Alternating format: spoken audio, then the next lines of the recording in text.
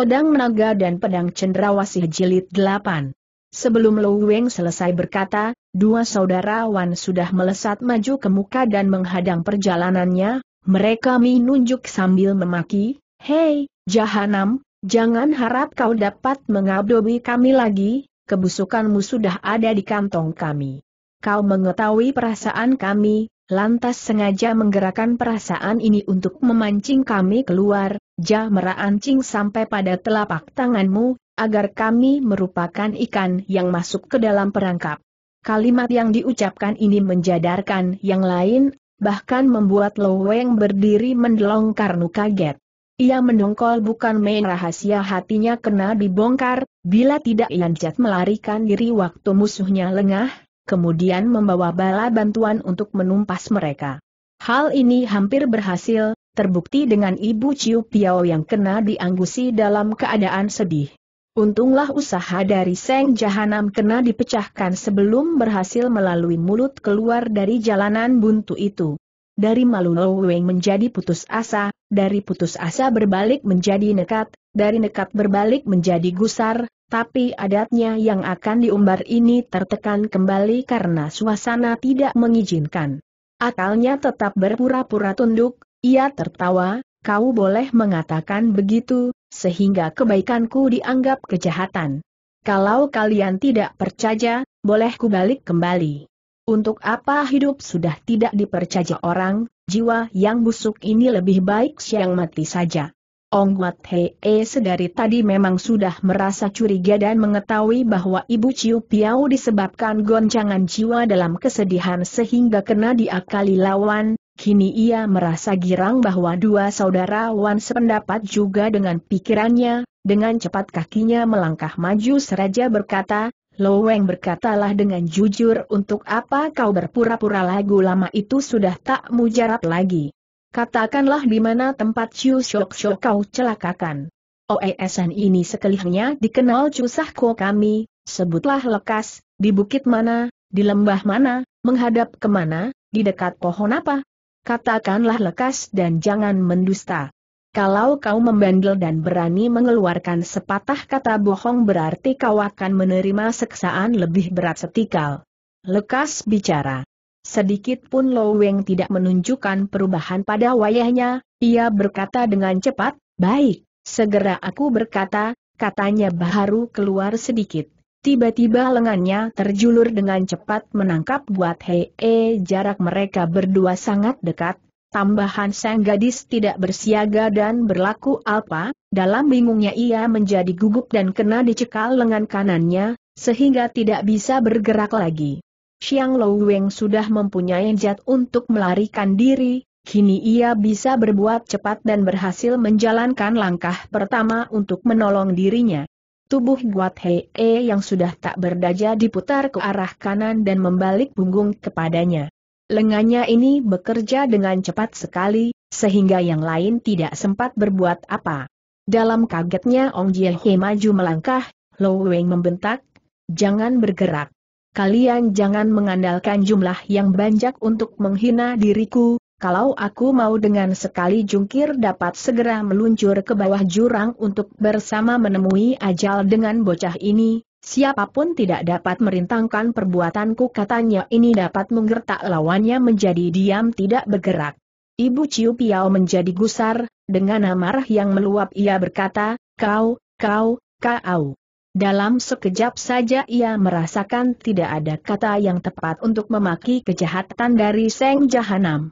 Segala sumpakan dan nistaan yang paling berat di dalam dunia, agaknya terlalu ringan guna memaki Lo Weng. Maafkanlah aku, kata Lo Weng sambil jengir jahat, aku segera akan membawanya berlalu Guat Hei e dijadikan tameng dan dipaksa jalan di hadapan mukanya melalui pada dua saudarawan. Dua saudara Wan masing-masing menghunus pedang, tetap merintang tak memberikan jalan. Loweng mendorong Guat Hei e pada ujung pedang dua saudara kembar, sehingga membuat yang tersebut belakangan terpaksa mundur, Loweng maju selangkah, mereka mundur setindak. Jangan dikasihi olos jahanam ini. Majulah semua, sekali jangan menghiraukan diriku seru Guat Hei e dengan lantang tanpa takut sedikit juga. Mau mampus kau. Aku tidak njat tergesa, jangan bersuara bentak Lo Weng dengan kasar. Tepat katanya habis, menderu semacam benda secara mendadak di belakang tubuhnya. Lo Weng memegang Wat Hei di sebelah depannya, dengan cepat kepalanya menoleh ke belakang, tampak olehnya semacam benda yang merupakan ular bergulung datang mengarah kepada tubuhnya, sedang ujungnya berkilauan seperti emas kuning, benda itu tak lain dari kaitan emas Chu Hang yang menjerang secara cepat. Lepaskan tambangmu bentak Lo Weng, jerijinya terjulur keluar sebanjak dua, merupakan sepitan kepiting mencepit tambang itu. Dengan cepat tambang yang kaku itu dikendurkan oleh pemegangnya sehingga terkulai, Lo Weng yang memegangi Guat Hei e biar bagaimana tidak dapat bergerak dengan bebas, begitu dilihat tambang terkulai pikirnya Seng lawan sudah tidak bertenaga, karenanya ia tidak merampas tambang itu melainkan melangkahkan kakinya maju ke muka Chu Hang menggerakkan tangannya. Sehingga tambangnya itu seperti hidup, kaki lawan Jart, melangkah maju di sambernya, sambil dibarengi dengan seruan, kena titik. Tambang ini tidak membuat Lau Weng menjadi kaget, kaki kanannya diangkat dengan ujung sepatunya ditendang tambang itu sambil memaki, Enjahlah janganlah mempergunakan permainan anak kecil untuk mengikatku katanya baru terhambur keluar, ia merasa sedikit tidak benar pada kakinya yang baru terangkat itu. Karena tambang si Hang sudah berubah menjadi lunak kembali. Sesudah melilit beberapa kali, kaitannya mencantel dan membuat suatu ikatan mati, sedangkan ujung lain dari tambang itu tetap berada di lengannya. Lo Weng, ingin kulihat apa kau masih bisa jalan tidak tanda seru tanya si Hang sambil menarik tambangnya. Lo Weng segera duduk di tanah, kedua lengannya mengangkat tubuh Guat Hei, mulutnya mengeluarkan ancaman, bocah sicu. Kalau kau tidak melepaskan tambangmu, Terlebih dahulu mustika ini kulempar ke dalam jurang sebenarnya lengan kirinya tidak bekerja apa, asal ia mau melepaskan ikatan tambang masih dapat, tapi hal ini tidak dilakukan, ia takut Tong Jie He dan Wan Jan Leong datang menjerang dan merampas Guat He. Kalau hal ini sampai terjadi dirinya pasti berada dalam kekuasaan musuh lagi. Chu Hang tidak mempunyai pendirian yang teguh dilepaskan atau tidak, Dilihat Jajiehe yang tengah gusar dan membentak Seng Jahanam, Loweng, jangan banjak tingkah jagalah seranganku kakinya menotol dan tubuhnya melesat cepat seperti burung menubruk pada seterunya. Waktu sampai di tengah udara kembali terdengar bentakan Ja, aku akan mencelakakan kau, seperti kau mencelakakan ayahku. Rasakanlah ilmu in yang keng yang akan kupukulkan di punggung dirimu melihat serangan Jie yang menggila ini Lo Weng mengetahui bahwa bocah ini akan menjerangnya dengan pukulan yang ganas. Tanpa banjak pikir lagi tubuh Guat Hei dilempam Ja ke dalam jurang. Lo Weng. Walaupun sudah menjadi setan aku tetap akan mengganggumu seru Guat Hei dari tengah udara dengan nada yang luar biasa geramnya, Seruannya ini membuat pula yang lain menjerit kaget. Dalam kegaduhan suara jeritan, terdapat seseorang yang masih tetap tenang, orang ini menggerakkan lengannya menerbangkan semacam benda. Orang ini bukan lain daripada Chu Hong. Lengannya yang memegang tambang, seujung sudah melibat kaki musuh, ujung satunya lagi masih tetap di dalam lengannya. Dalam keadaan yang demikian mendesak, tak sempat untuknya melepaskan libatan tambang yang berada di kaki lawan, sehingga tambang yang tengah dipegangnya dilempar untuk mengait Guat Hei. Xie Mui, peganglah tambang ini Chu Xie Hang bertubuh kurus tapi seruannya ini cukup mendengungkan setiap pendengar. Guat Hei mengeluarkan lengan menjangkau tambang begitu mendengar seruan saudaranya. Dengan suatu gerakan yang luar biasa indahnya berhasillah ia memegang dengan erat tambang yang datang itu. Kalau ujung tambang satu lagi berada di dalam lengan si Hang segala urusan segera akan menjadi beres. Tapi ujung satunya lagi masih melibat di kaki lawan. Sedangkan Seng jahat yang sudah melempar Guat Hei segera memasang besinya dengan teguh sambil menjedot hawa segar guna mengkokohkan pertahanan kakinya, lengannya berada di dadanya menguasai ketenangan, ia hanya memperhatikan serangan Jiehe dan menantikan kekosongan lawan untuk mengirimkan serangan kematian. Pada saat inilah tubuh Guat Hei jatuh ke bawah, walaupun cukup keras sedikit pun kakinya tidak bergerak, berkat persiapannya sudah baik. Ilmu Jiehe bukan lain dari bukit berantai yang bernama bukit aneh terbang mendatang, Gajah serangannya menjergap dari atas ke bawah serta dilengkapi Im Yang Kang yang lihai langsung mencerang kelemahan dan tempat berbahaya lawan. Dengan tenang Lo Weng mengawasi setiap gerak-gerik lawan, begitu serangan hampir tiba, tubuhnya mengegos dengan cepat, dan memaksa musuh menjerang tempat kosong. Sedan bukan lengannya dijulurkan sambil mengeluarkan dua jerijinya yang ditekuk merupakan belencang yang siap mengait mata lawannya, Jurus ini dapat dilakukan dengan cepat seperti ular mengeluarkan lidahnya.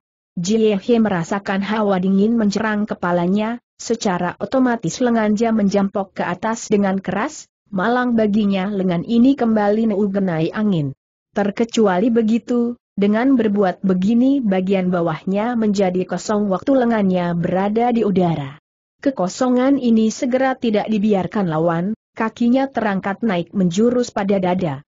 Sebenarnya Jehe sedang menyiapkan serangannya yang bernama San Chiong Sui Kin, air kering di tanah tandus, menjaga dengan rapat seluruh tubuhnya, begitu dilihat kaki lawan menendang dadanya, tubuhnya segera mencelat mundur.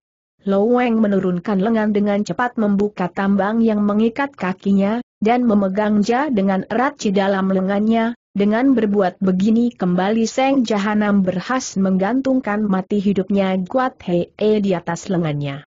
Hasilnya ini membuat wayahnya berseri secara girang sekali. Orang banjak sekali lagi dibuat mengeluarkan keringat dingin Ciu Piao menggenggam mutiara emasnya tanpa mempunyai pendirian sama sekali, akan dihajarkan bangsat tua celaka itu? Takut mendatangkan musibat untuk buat Hei kalau dibiarkan begini saja, artinya sudah merasa muak atas sikap lawan yang licik dan menjemukan. Semua orang tidak kuijankan melangkahkan kakinya mendekat padaku. Barang siapa melanggar kata kutain bang ini segera ku lepaskan. Kalau hal ini kugunakan jangan sesalkan diriku yang tidak mempunyai peri kemanusiaan lagi seru Weng dengan delak-deliknya menjapu pandangan semua seterunya dengan kepuasan yang berlimpah. Dengan amarah meluap Jiehe melangkahkan kakinya sedikit, dengan jat untuk mengadu jiwa. Ku lepas tambang ini seru Lo Weng sambil benar melepaskan tambang itu dari lengan kanannya, sedang tangan kirinya buru menuju ke tanah dan memegang lagi tambang itu dengan erat. Gertakannya yang cukup baik ini mengejutkan seterunya dan membuat Jiehe tidak berani melangkahkan kakinya barang setengah tindak. Kejadian membuat orang banjak bengong mematung seperti batu gunung di Ban Li Ucung. Lo Weng, katakanlah apa maksudmu berbuat begini tanya Jie Hei. Tidak apa jawab Lo Weng dengan dingin, aku mengambil jalanku sendiri dan kalian mengambil jalan kalian, satu sama lain tidak mengganggu. Dari itu kalau aku maju melangkah setindak, kalian harus mundur setindak. Siapa berani merintang, terpaksa aku akan melawannya secara matian, sedang tambang ini pasti Hamsku lepaskan habis berkata lengan kanannya memeang tambang, kakinya maju melangkah menuju, jalan ke tabir air terjun dari mana tadi ia masuk. Dengan terpaksa dua saudara Wan mundur beberapa tindak. Low Weng maju lagi dua tindak, dua saudara Wan kembali kena dipaksa mundur sebanyak dua tindak. Jangan hiraukan diriku, Jangan kasih binatang Lo Weng meloloskan diri seru Guat Hei dengan keras dari tebing di mana ia berada. Moi Chu tak perlu kau gelisah, bangsat tua ini pasti tidak akan kulepaskan dan tidak mungkin mencelakakan kau, jawab Ciu Piao dengan gagah.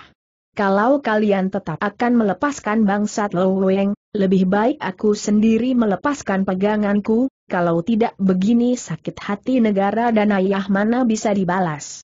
I.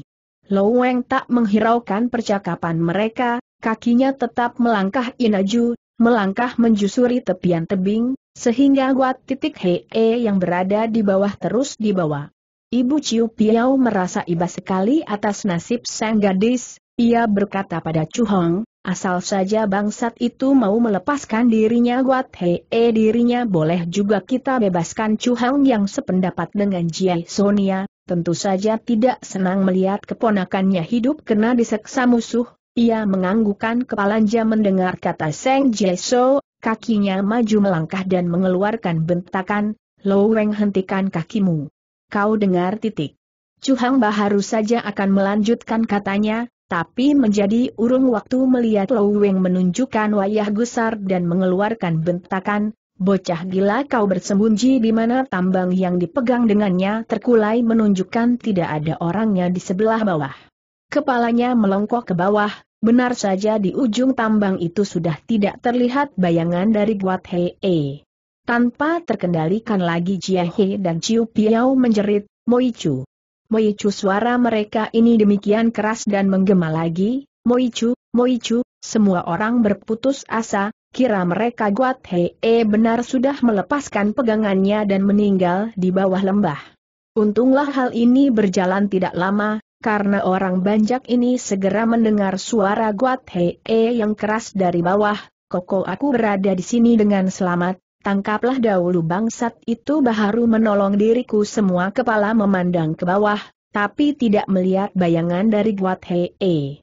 Kiranya di samping tebing, terdapat celah yang lekuk ke dalam, bahkan ada pula rumput dan semak, Loweng yang keenakan menjerat sang gadis, terlalu memusatkan pikirannya kepada JHDKK, sehingga tidak memperhatikan keadaan di tebing itu, sehingga Guat Hei dapat melepaskan lengannya sesudah melihat tempat yang kuat untuk menempatkan dirinya. Suatu ketika yang bukan main baiknya kembali terlepas dengan begitu saja, hatinya menjadi sedih dan kesal, diam ia meratap, Loweng, mungkin hari matimu sudah sampai pada waktunya, hari ini selalu jalannya tidak baik, Segala kesempatan yang bagus sudah berlalu seperti impian Seng Jahanam ini sebenarnya diam sedari semula sudah merencanakan diri untuk kabur, pertama menggunakan penipuan, tapi hal ini gagal, kedua menangkap salah seorang untuk dijadikan jaminan, sayang ketika ini kembali menjadi kandas, harus bagaimanakah? Menggunakan kekerasankah? Wah, semuanya sukar dan tak mungkin. Sekelilingnya berdiri Wan Jen Leong dan adiknya, Ong Jie Hei, Chiu Piao dan lain. Ia mengharapkan hujan cepat tapi sampai saat ini masih belum ada tanda hujan akan turun, pokoknya kalau sampai hujan datang ia mempunyai suatu rahasia yang dapat meloloskan diri, tapi sayang sekali yang diharap ini belum datang juga.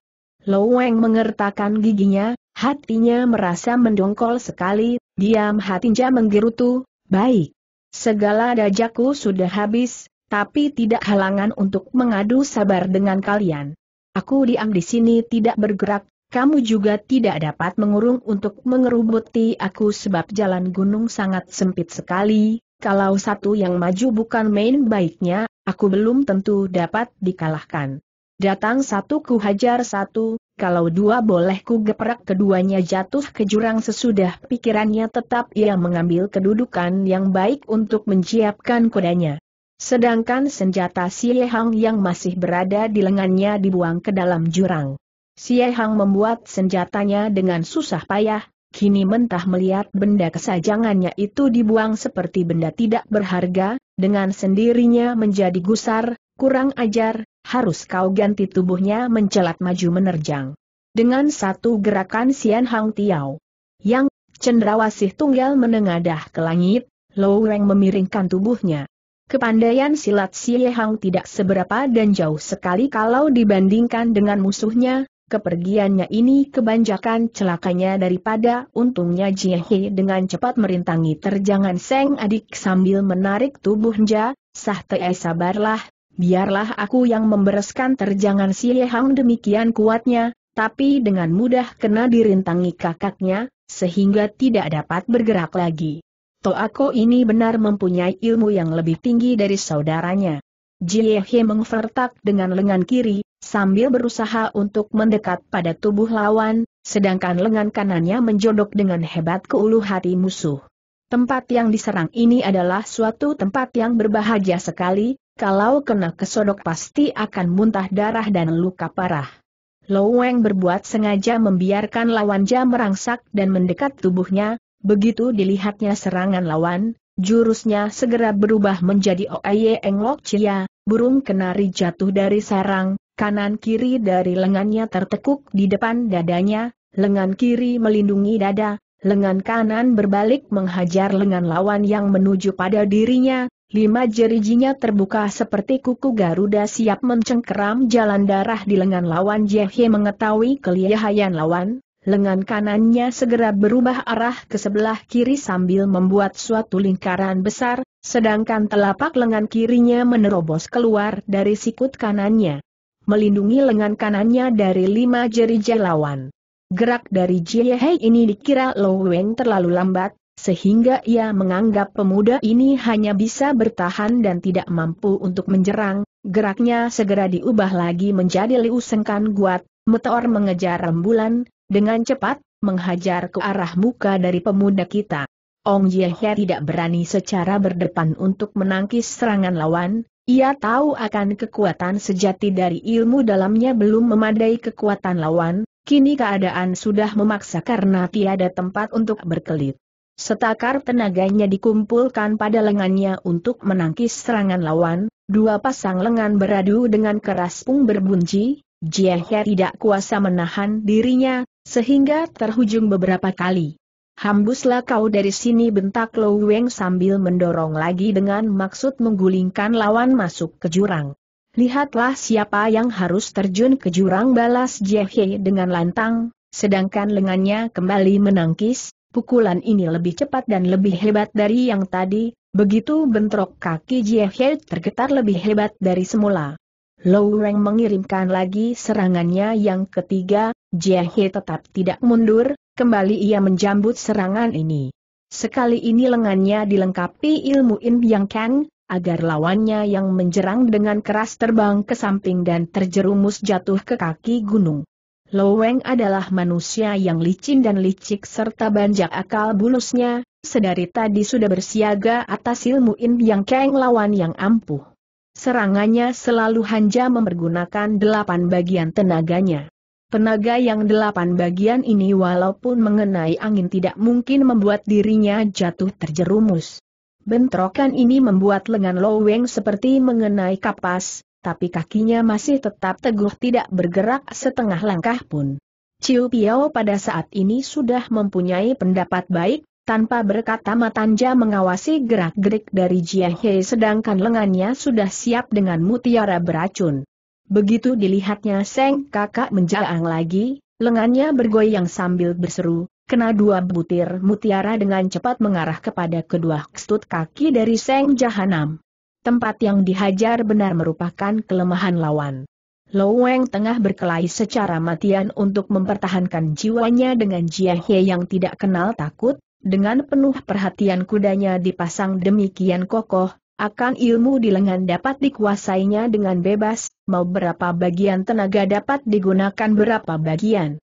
Kini mendapat serangan mutiara yang mengarah pada iututnya, memaksanya membuat ia meloncat setinggi tiga kaki. Dengan gugup kerling matanja melihat mutiara, tubuhnya yang berada di atas udara dilengkam daja tahan berbau menjerang. Kakinya terangkat naik menendang dengan ganas pada lengan kanan musuh, serangan ini kalau berhasil pasti dapat mematahkan tulang dari lengan lawan. Dengan terpaksa Jia He menghentikan serangannya dan menarik dengan cepat, akan tetapi dengan perbuatannya ini membuat sang musuh berada kembali di pihak aktif. Hal ini tidak membuat dan menjadikan Lou Weng girang, karena di punggungnya merasa angin dingin, Agaknya ada semacam benda tajam mengancam punggungnya. Ia menjadi kaget dan berjingkrakan, pikirnya memastikan bahwa Wan JLN Liong sudah menjerang. Kalau kakinya hingga pada Numi dan diserang lagi dua mutiara beratiun, ditambah dengan serangan Jiahe dan tabasan dari pedang Jen Liong, kalau sampai hal ini terjadi biar Lo Weng mempunyai tiga kepala dan tujuh lengan jangan harap dapat menghindarkan bencana maut ini.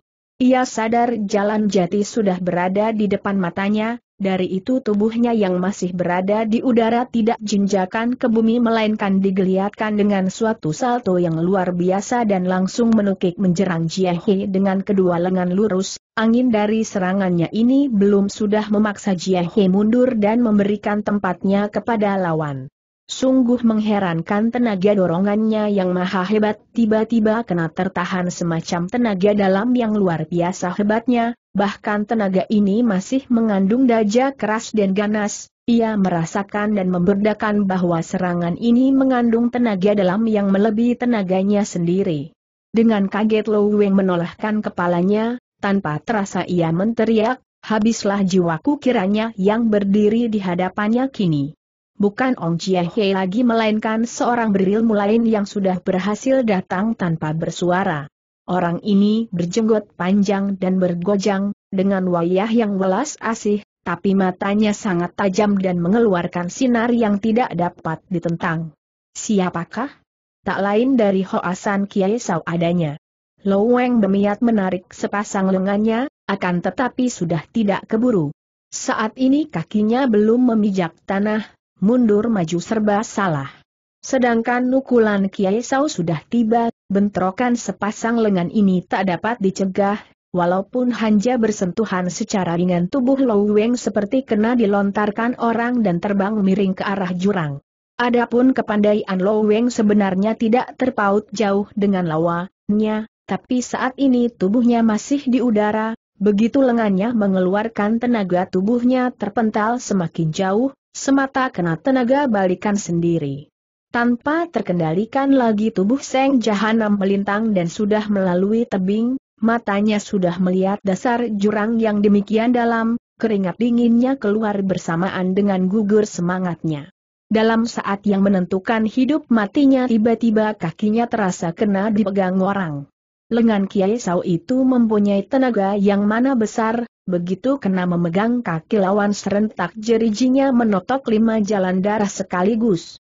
Walaupun terhayang sepatu dan kaos kaki, totokannya cukup tepat, lebih hurat nadi yang berada di atasan tumit kaki, kena tertotok secara mutlak dan ditekan demikian keras sehingga saat itu juga dapat melumpuhkan orang. Orang yang berilmu tinggi sebenarnya tidak merasa takut walaupun tubuhnya terkatung di udara, Pokoknya asal dapat memijak sesuatu segera dapat meminjam untuk mencurahkan seluruh tenaga badannya guna berjungkir dan berdiri. Lom Feng pun menggunakan care ini waktu merasa kakinya dipegang orang, tapi ia terlambat, sebelum tenaganya dicurahkan untuk berjungkir kakinya sudah lemas terlebih dahulu kena totokan lawan, sehingga tubuhnya tidak berdaya lagi dan terkulai ke bawah.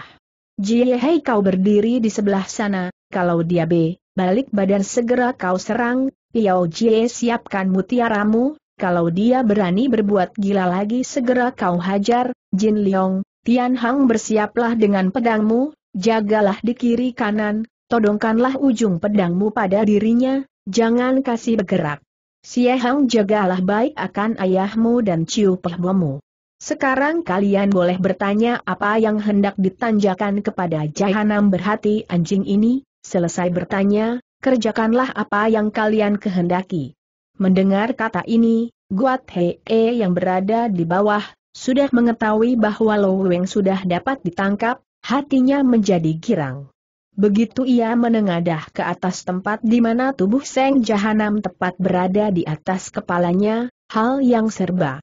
Kebenaran ini membuat hatinya bertambah girang, dengan cepat ia berteriak ke atas, Suhu, kasihlah aku naik dahulu ke atas. Tunggulah sebentar untuk kudajakan agar kau bisa naik ke atas. Tak perlu lama, balikanlah tubuh Lo Weng kepadaku, aku segera bisa naik ke atas, Kirama Guat Hei sudah memikir untuk naik ke atas dengan tiara menarik lengan musuh dan berjungkir ke atas, tapi ia takut musuh menurunkan lengan jahat, kalau Mukanja menghadap pada dirinya. Kiai Sao menurut, tubuh Lo Weng yang tidak berdaja dibalikan menurut kehendak muridnya. Guat Hei mencelat memegang nadi di lengan lawan, sedangkan tubuhnya segera membal dengan ringannya, dengan ringan badannya sampai di atas. Orang yang berada di atas hanya menampak ia mencelos keluar dari selah tebing, segera menjambutnya sambil mengulurkan lengan. Sesampainya di atas, dengan geram ia membuka mulutnya, bangsat ini banjak sekali akal bulusnya, ingin hatiku mencungkil hatinya guna kulihat sebenarnya berbentuk bagaimana. Sementara ini Lo Weng yang sudah mati kutu, diam tidak bergerak dan tidak berkata barang sepatah. Waktu tubuhnya diperhina dan jinjak buat Hei sebagai tangga, ia tidak melakukan perlawanan, membiarkan lawannya mencapai tujuannya dengan selamat. Ia sudah mempunyai sesuatu rencana dan pendapat, sekali tidak berjat untuk memancing amarah lawannya yang demikian banjak. Begitu Ciu Piao melihat Guat Hei e tidak kurang suatu apa, segera menoleh pada Lo Weng sambil membentak, Lo Weng, katakanlah lekas di mana kau mencelakakan ayahku. I. Lo Weng tidak menjawab, tetap membungkam. Ciu Piao membentak lagi dengan sengit, Lo Weng tetap tidak membuka mulutnya Ciu Piao membentak sekali lagi, kalau kau tidak berkata, mutiara emas ini tidak sungkan lagi untuk menamatkan riwayatmu Lo Weng tetap tidak menjawab. Awas dengan mutiara ini bentak Ciu Piao dengan tiba-tiba, serentak melepaskan ja di depan matanya Seng persakitan, inginkah kau mengecap lagi rasanya mutiara ini? Lo Weng merapatkan matanya, sedangkan mulutnya tetap tidak menjawab. Orang yang semacam Lo Weng ini semakin dirinya berada di dalam bahaya, akal gilanja semakin banjak. Saat ini kelakuannya demikian tenang, ia tahu kalau selesai bertanja segera bakal mati. Sebab ini ia diam terus sambil memelihara semangatnya untuk mencari ketika lagi guna meloloskan diri. Tian Hang sudah tak sabaran lagi, dengan belakang pedang, dada Seng Jahanam dipukul sekali, ia membentak, kalau kau tetap membungkam, pedang ini segera akan membelah dada Muloweng merasakan dadanya sakit, tapi tetap membungkam, ia berpikir, kalau bocah ini benar mau mengambil jiwaku, tentu ia menabas dengan meta pedang yang tajam dan tidak dengan belakang pedang untuk menggertak orang. Hem kalau aku terus membungkam kalian bisa apa waktu ia berpikir, tiba-tiba semacam perasaan dingin menjerang ulu hatinya. Matanya dibuka sedikit. Tampak olehnya Jan Leong dengan pedangnya tengah menggerakkan pedangnya di depan dadanya, tiba-tiba pedang itu seperti lidah ular, terjulur dan tertarik berek menggores di dadanya sehingga membuat bajunya pecah, sedangkan kulit dagingnya sedikit juga tidak menderita luka. Dari caranya ini dapat dimengerti bahwa Putrawan Taino dapat melakukan sesuatu serangan dan dapat mengendalikannya dengan tepat. Jan Leong membuka baju orang, bulu dada yang lebat memenuhi sekujur badan bagian muka dari Lo Weng. Pedang yang luar biasa tajamnya diletakkan di depan bulu yang lebat, Lo Weng. Kalau kau tetap tidak bicara dadamu ini akan kubelek perlahan, sekali tidak ku perbuat untuk menusuk dari punggungmu habis berkata pedang itu dikebaskan di depan dada orang, sehingga membuat beberapa helai bulu dada yang lebat berhamburan putus. Kalau bukan orang yang luai biasa licinnya, dalam keadaan yang demikian macam pasti tiga dari tujuh Sin Hun, Ruh, sudah hilang entah ke mana, tapi Lo Weng bukan sembarangan orang ia tetap membisu dan merapatkan matanya lagi. Di balik lain Chu Hang menjadi tertegun menampak sesuatu benda di dada lawan, benda ini menimbulkan kecurigaan besar dalam sanubarinya. Semakin dipikir semakin tidak benar, dengan cepat kakinya melangkah dan meminggirkan sekalian yang lain, lengannya menarik Jin Leong sambil berkata, keponakanku yang baik, sabarlah sebentar, aku mempunyai pertanjaan pada renjah tubuhnya segera membungkuk, membuka baju Lo Weng sambil mengamati dengan seksama.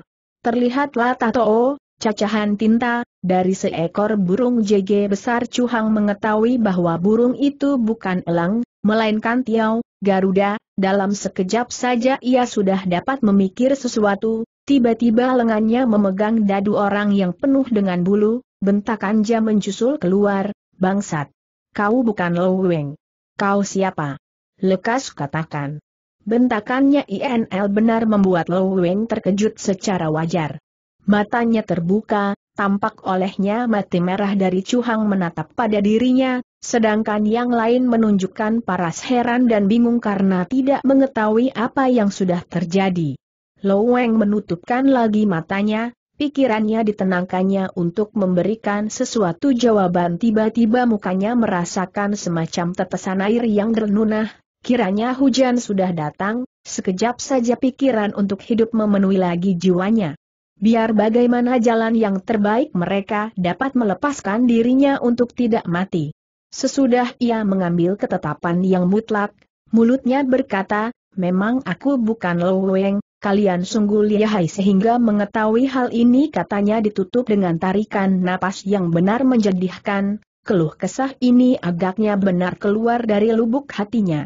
Tanya jawab yang singkat antara Chuhang dan Lo Weng membuat para pendengam ja menjadi kaget. Terkecuali dari Chuhang dan Lo Weng palsu yang lain tidak mengetahui sebabnya. Ibu Ciu Piao dengan suara gemetar segera berkata, bagaimana? Iya bukan Lo Weng? Setengah mati kita mengalami penderitaan menantikan hari ini, baru bisa mengetahui keadaan sekarang, kiraku segala sakit hati negara dan pribadi sudah dapat dibalas, tapi binatang ini bukan Loweng Hoasan Kiai saupun lekas campur bicara, Sahpe, sebenarnya apa yang sudah terjadi? Chuhang seperti tidak mendengar perkataan mereka, dirinya masih tetap berpikir dengan tenang untuk memecahkan suatu rahasia yang terpendam. Semakin berpikir tampak wayahnya semakin gusar, mukanya sudah menjadi pucat lesi, giginya berkertakan, matanya menunjukkan kebencian yang lebih hebat dari tadi, tiba-tiba lima jarinya terjulur keluar, sambil membentak dengan kasar, bangsat. Ingin hatiku mencungkil hatimu, untuk melampiaskan sakit hatiku. Kiranya kau bukan Teeku, kau pasti sudah mencelakakan Teeku, kemudian mencelakakan tiga saudaraku. Empat saudara angkatku, semua sudah kau celakakan secara keji suara gemetar terlalu dikendalikan oleh perasaannya, kerongkongannya kering dan tidak dapat melanjutkan ia giat tanya. Sesudah berdiam sejenak, baru ia menoleh kepada Ibu Ciu Piao, Jieso, bangsat ini bukan Weng. Kejahatannya yang diperbuat, dibanding dengan yang kita ketahui entah berapa tikal banjaknya. Metus sekalian orang banjak, menunjukkan keheranan yang semakin menjadi sesudah mendengar perkataan Chu Hong. Ia tahu bahwa perkataannya diucapkan terlalu beremosi sehingga tidak tegas didengar yang lain. Ia menjedot napas dalam sesudah berapa kali menghirup, Hatinya menjadi agak tenang, suaranya baru keluar lagi, kalian mungkin merasa, bahwa kataku agak tidak keruan, betul tidak? Ah, aku merasa menyesal tidak dapat menggunakan sepatah kata untuk menjelaskan, berbicara terburu berbalik membuat orang tidak mengerti.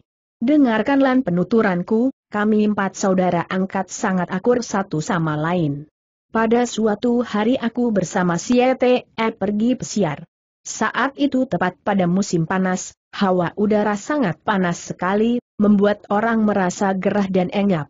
Sesampainya di sebuah lembah dari bukit yang kecil, tiba-tiba tun hujan besar seperti dituang, di situ tidak terdapat rumah untuk dijadikan tempat meneduh, tak ampun lagi baju kami menjadi basah kujub. Sesudah hujan reda cuaca pun menjadi terang tapi keadaan kami sudah seperti ajam kecebur di kecomberan.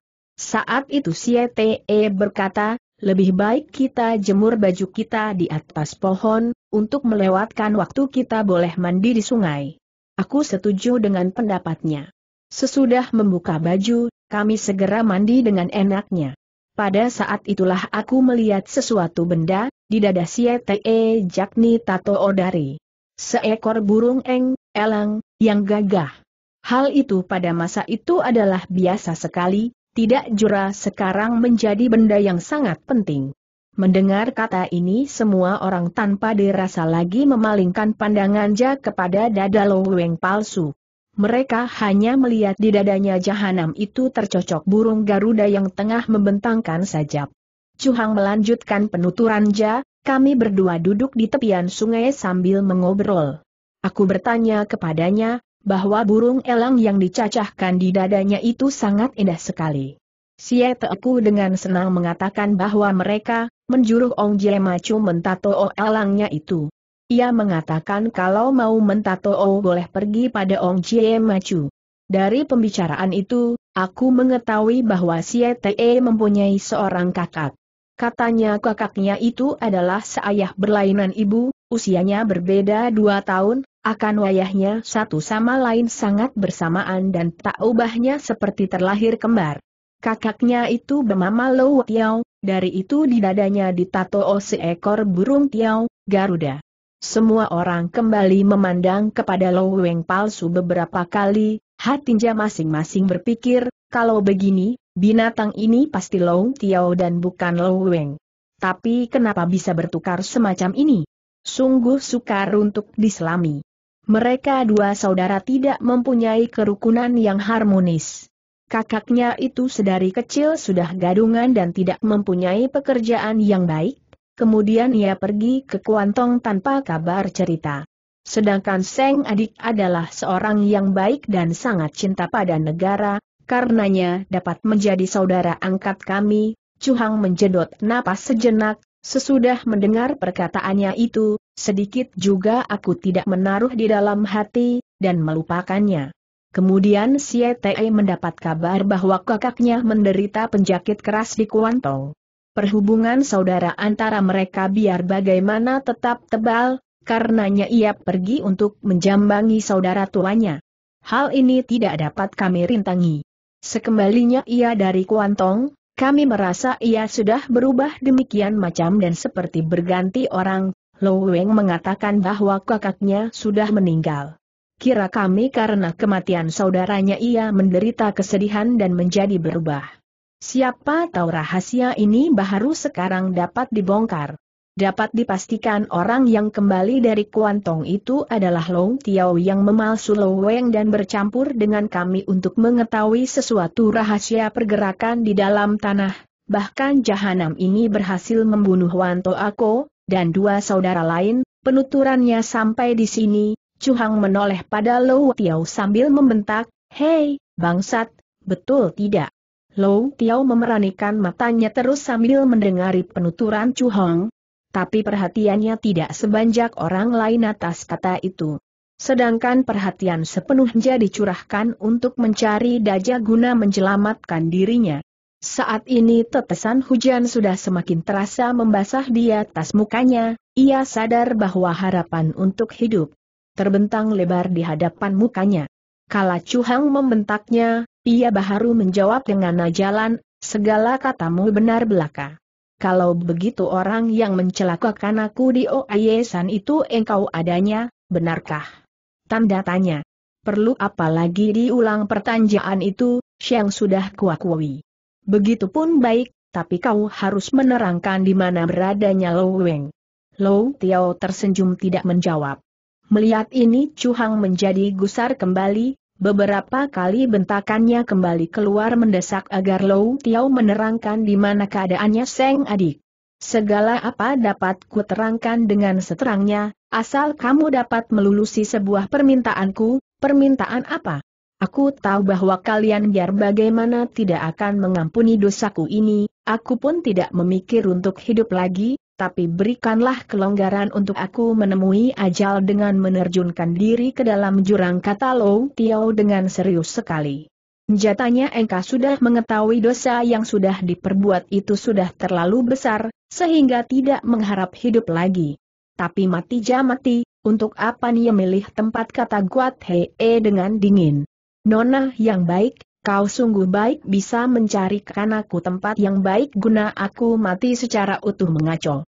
Kalian dapat membuat aku mati dengan penasaran, aku pun dapat membuat kalian hidup seumur hidup dengan perasaan tidak tenteram. Semua pandangan diarahkan pada Hoasan Kiai Sau, sebaliknya Kiai Sau pun memandang orang banjak, semuanya menganggukkan kepala, menandakan melulusi permintaan Lo Tiao. Baik, permintaanmu itu kami lulusi, katakanlah lekas bagaimana mulanya kau menjamar menjadi Lo Weng? Sedangkan Lo Weng kau apakan? Masih hidupkah atau sudah kau binasakan? 18 tahun yang lalu bagaimana kau merencanakan untuk mematikan saudara kami? Sedangkan Chiu Jieko di mana kau celakakan semuanya ini ku minta kau lekas ceritakan, asal kau berani membohong, permintaanmu itu tidak akan kukabulkan.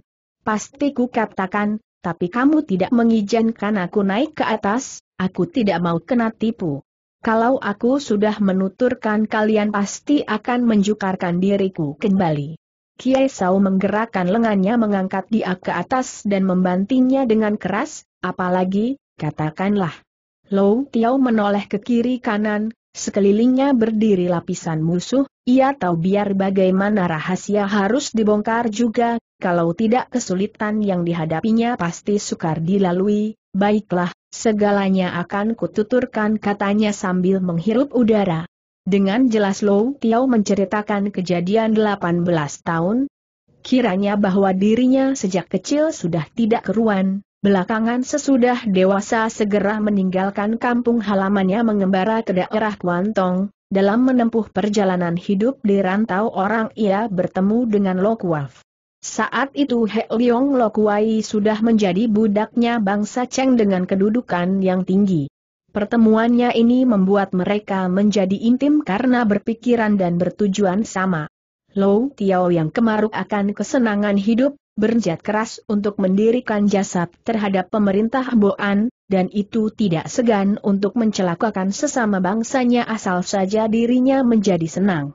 Ia memikir bahwa adiknya adalah seorang patriot bangsa yang memusuhi pemerintah penjayah dan mempunyai hubungan sangat luas di kalangan orang Kengou pencinta negara, dengan bertekad bulat menjadikan adiknya sebagai pancingan dikirimkannya surat kepada adiknya, mengatakan bahwa dirinya menderita sakit berat dan mengharapkan benar kedatangan Seng adik. Loweng adalah seorang budiman, biar bagaimana tidak akumja antara mereka, ia tetap sayang pada kakaknya, dengan menempuh bahagia yang besar ia pergi juga ke Kuantong mencari kakaknya. Pertemuan antara dua saudara ini menggirangkan hati masing-masing. Lou Tiao menceritakan bahwa dirinya sudah insjaf dan ingin mengikut jejak Seng adik guna membela tanah air. Tentu saja hal ini membuat yang menjadi adik girang sekali, tanpa curiga lagi, satu demi satu hal yang bersangkutan dengan penggerakan di bawah tanah dituturkan kepada kakaknya dengan jelas. Dari kata Seng adik Long Tiao mendapat tahu bahwa Ong Taiguan dan saudara angkatnya adalah saudara angkat dari adiknya. Hal ini membuat hatinya girang dan timbul daja untuk menjamar menjadi adiknya guna memasuki daerah Tionggoan dan bercampur dengan Ong Taiguan, ditanjainya sesuatu yang mengenai paras dan keistimewaan, adat tabiat pengawakan dari Ong Taiguan, Chiu Chian Kin, Chu Hang dan lain, kemudian pergi ke Tionggoan. Sesampainya di tempat tujuan kebetulan sekali ia bertemu dengan Ong Taiguan yang mendapat surat undangan dari Wan Tai No guna mendaki Oayesan pada malaman Tiong Chiu, tanpa ragu ia pergi mengikut dengan mereka dan menggunakan ketika untuk mencelakan Wan Taino dan lain. Lou Tiao selesai menceritakan sesuatu dengan singkat, tapi mengenai di mana ia mencelakakan dirinya Chiu Kin dan di mana kediamannya Lou Weng tidak disebutkan. Saat ini hujan sudah semakin besar. Air hujan sudah berkumpul dan merupakan mata air mengalir ke bawah gunung seperti air terjun. Lou Tiao berkata pada dirinya, saatnya sudah sampai ia berontak dan menggunakan tenaga dalamnya untuk membuka semua jalan darahnya yang dikunci Kiai Sau tadi. Matanya memandang keadaan situasi gunung, dirinya menghadap pada jalan terakhir untuk manusia, langkahnya diangkat setindak demi setindak. Guat Hee dan Ciu Piao serentak mengeluarkan bentakan gusar, Lou Tiao hentikan langkahmu. Bangsat! Penuturanmu itu belum selesai kata Chuhang sambil mengangkat tangan merintang di jalan. Kamu sudah mengatakan kalau segala sesuatu sudah habis kuceritakan, aku bebas untuk mencari tempat guna membuang diriku ke dalam jurang. Kami adalah jantan sejati, kalau sudah mengatakan putih tetap putih kata Kiai Sau. Kalau begitu baik, tapi kamu semua harus mundur sebanjak tiga tombak agar diriku dapat memilih tempat kematian secara bebas dan tenang. Jangan banjak ribut lagi, kami tidak mempunyai jat untuk mencelakakan dirimu secara menggelap. Katakanlah di mana kau mencelakakan Chiu? Sedangkan Lo Weng di mana rimbanya? tempat di mana Chiu jatuh ialah di puncak Tian Tou sebelah selatan tepat di dekat pohon Xiong yang delapan batang banjaknya carilah ke sana, pasti dapat kamu ketemukan tulangnya. Dapatkah keteranganmu dipercaya tanya Ciu Piao? Orang yang akan mati, katanya selalu betul belaka Ye Kiai Sau berpikir, dalam hal ini agaknya Lou Tiao menuturkan dengan betul dan jujur, dari itu ia melanjutkan pertanyaannya dengan tak sabar, Lou Weng berada di mana? Ia sudah meninggal. Tiga patah kata ini membuat sekalian orang terkejut dibuatnya, lebih cuhang merasakan dadanya menjadi sesak sekali. Ia tak habis pikir saudara angkatnya semua menjadi korban dan mati konjol di tangan jahanam ini, sehingga tinggal ia seorang dirinya yang masih dapat hidup. Sesudah ia menenangkan diri, segera menanjak, karena apa ia meninggal? Makan racun. Siapa yang mencelakakannya tanya Cuhang semakin jongkol. Tak perlu ditanya lap, tentu perbuatan diriku Cuhang merasakan dadanya terbakar, Dipandangnya bangsat yang dibenci itu, ingin hatinya menusuk dan tusuk dengan rantusan dan ribuan pedang agar sakit hatinya terbalas, tapi ia sudah menjanggupi seng jahanam mati membunuh diri, saat ini bagaimana pula ia tidak boleh turun tangan. Telinganya saat ini mendengar suara Long Tiao yang bicara dengan Hoasan Kiai Sau, Kiai Sau, semua anja sudah kukatakan. Kiai Sau memandang sekalian orang, ia tahu mereka diliputi perasaan kesal dan geram, tapi biar bagaimana semuanya adalah bangsa satria yang pantang ingkar pada janji. Lengannya digojangkan memberi tanda agar semuanya menepati janji dan memberikan kelonggaran pada Seng Jahanamu untuk memilih tempat guna seumur hidup. Sekalian orang tidak membuka mulut semuanya mundur menjadi dua baris ke kiri dan kanan sejauh tiga tombak. Lou Tiao melangkahkan kakinya terus ke arah jalan terakhir untuk manusia, setiap ia melangkah setindak yang lain pun mengikuti maju selangkah, sekali-kali tidak memberi kesempatan untuknya melarikan diri. Sesudah melewati beberapa belokan kecil, tibalah di suatu tebing yang menonjol seperti bukit kecil. Dan tempat yang tinggi ini terlihat Kot Jin Chalou, jalan terakhir bagi manusia, Melihat ini Lou Tiao menghentikan kakinya dan memandangkan matanya ke sekeliling. Tampaklah di depan tebing mengalir air hujan yang merupakan selokan kecil dengan suara kerucukan jaya yang merdu, air ini tidak berapa banyak, mungkin sesudah hujan saja baharu berkumpul menjadi satu dan merupakan selokan. Diam Lou Tiao menjadi senang, ah, tak kukira peta rahasia dari Bukit Kuning, Oh San, ini sedikit pun tidak salah. Benar saja di sini terdapat selokan air, menurut peta rahasia terjunkanlah diri dari atas ke selokan ini, segera bisa mengikuti arus air dan hanjut sampai di kaki gunung. Hal ini pun pasli benar adanya. Ehem, ehem, hari ini di langit tidak ada jalan, tapi di bumi ada pintu, tubuhnya berbalik dan memberi hormat pada sekalian anak muda, kemudian ia bicara dengan kata dingin, Cuye marilah sampai berjumpa kembali. Tia-tia. Tia-tia Chen Chen berteriak dengan tiba-tiba sebenarnya gadis ini disembunyikan Jehei, tapi kalau Tiao menuturkan kejadian yang lalu, Guat Hei membebaskannya, agar ia bisa mendengari cerita dari yang menjadi bapak. Semakin mendengar Chen Chen semakin bingung, ia tak habis pikir bahwa ayahnya bisa melakukan perbuatan keji yang tidak berperi kemanusiaan sama sekali. Walaupun dirinya dibesarkan di dalam rumah yang jahat, biar bagaimana Chen Chen adalah seorang anak perempuan yang jujur dan baik, untuk menjadikan dirinya seperti Seng Ayah sedikit juga tidak berani, paling hanya mengganggu orang. Hatinya menjadi sedih dan duka mendengar kisah ayahnya. Ia berpikir, kalau begini aku anak siapa? Apakah anak kandung dari Long Tiao atau dari Long Weng sekali ia berpikir begini, segera membuat pikirannya menjadi kacau dan diam tidak membuka mulut. Saat inilah ia melihat Long Tiao akan menerjunkan diri ke dalam jurang, tanpa terasa lagi mulutnya terbuka untuk memanggil. Tapi apa yang dikatakan tidak lain dari tia-tia, tia-tia sedangkan kata lain tidak jingat untuk diucapkan.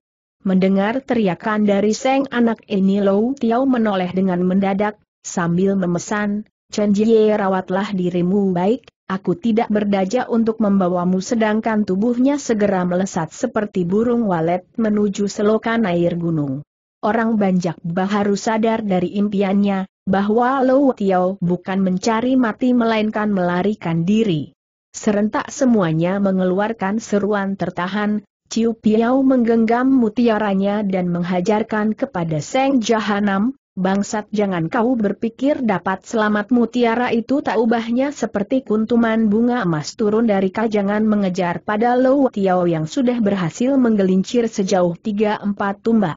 Ia menjadi terkejut demi melihat mutiara emas yang mengurung dirinya sepasang kakinya tidak berani berpisah pada tujuan, begitu berpisah pasti menerjang cadas dan menemui ajal. Dengan terpaksa dan mangkel ia mengagus ke samping, menjusul terdengar suara brek dari bajunya yang sobek tersangkut pohon dan sebagian besar tersangkut di atas ranting pohon.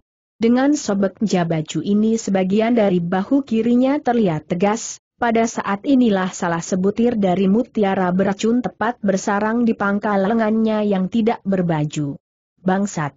Akhirnya kau tidak terhindar dari kematian seru Ciu Piao dengan girang melihat hasil baik dari mutiaranya. Walaupun sudah kena mutiara Lo Tiao masih tetap tidak menjadi gugup, dengan cepat ia mencabut pisau belati dari pinggangnya dan menabaskan kepada pangkal lengannya, sehingga lengan itu putus dan jatuh entah ke mana. Dengan menahan sakit tubuhnya terjun ke dalam air dan hilang di balik cadas yang berada di gunung itu. Perubahan yang berjalan secara mendadak dan cepat ini, membuat sekalian orang menjadi termenung tidak keruan. Bangsat itu dapat turun ke bawah, masakan kita tidak kata Ong Jie sambil maju melangkah ke depan. Sebelum kehendaknya tercapai Kiai Sao sudah merintangi Ninja sambil menasehatkan, anak. Sekali jangan sembarangan turun, lebih banyak celakanya dari selamat. Dapatkah kita melihati saja Seng Jahana merak dari hadapan kita tanya Jie Hei. Sepandai tupai melompat akhirnya terjerat pula, kata Kiai Sao, Larangannya Kiai Sao dipatuhi sekalian anak muda, sehingga tidak ada yang berani mencoba untuk mengejar Seng Bangsat. Xie Hong, panggil Kiai Sao. Ja, Supte, aku menantikan perintahmu. Kau lihat, kata Kiai Sao sambil menunjuk pada sobekan baju Long Tiao. Ambillah bawa kemari sobekan baju itu. Baik Supe kata Xie Hong sambil memperhalikan, Pikirnya kalau masih mempunyai senjata dengan mudah sobekan baju itu dapat diambil tapi senjatanya kini sudah tidak ada, hal ini agak menjukarkannya juga. Sesudah berpikir pulang pergi, akhirnya ia berkata, bisa, tapi ku minta bantuan dari saudara. Aku akan belajar dengan cara Jasie Moi tadi pasti dapat turun dan dapat naik.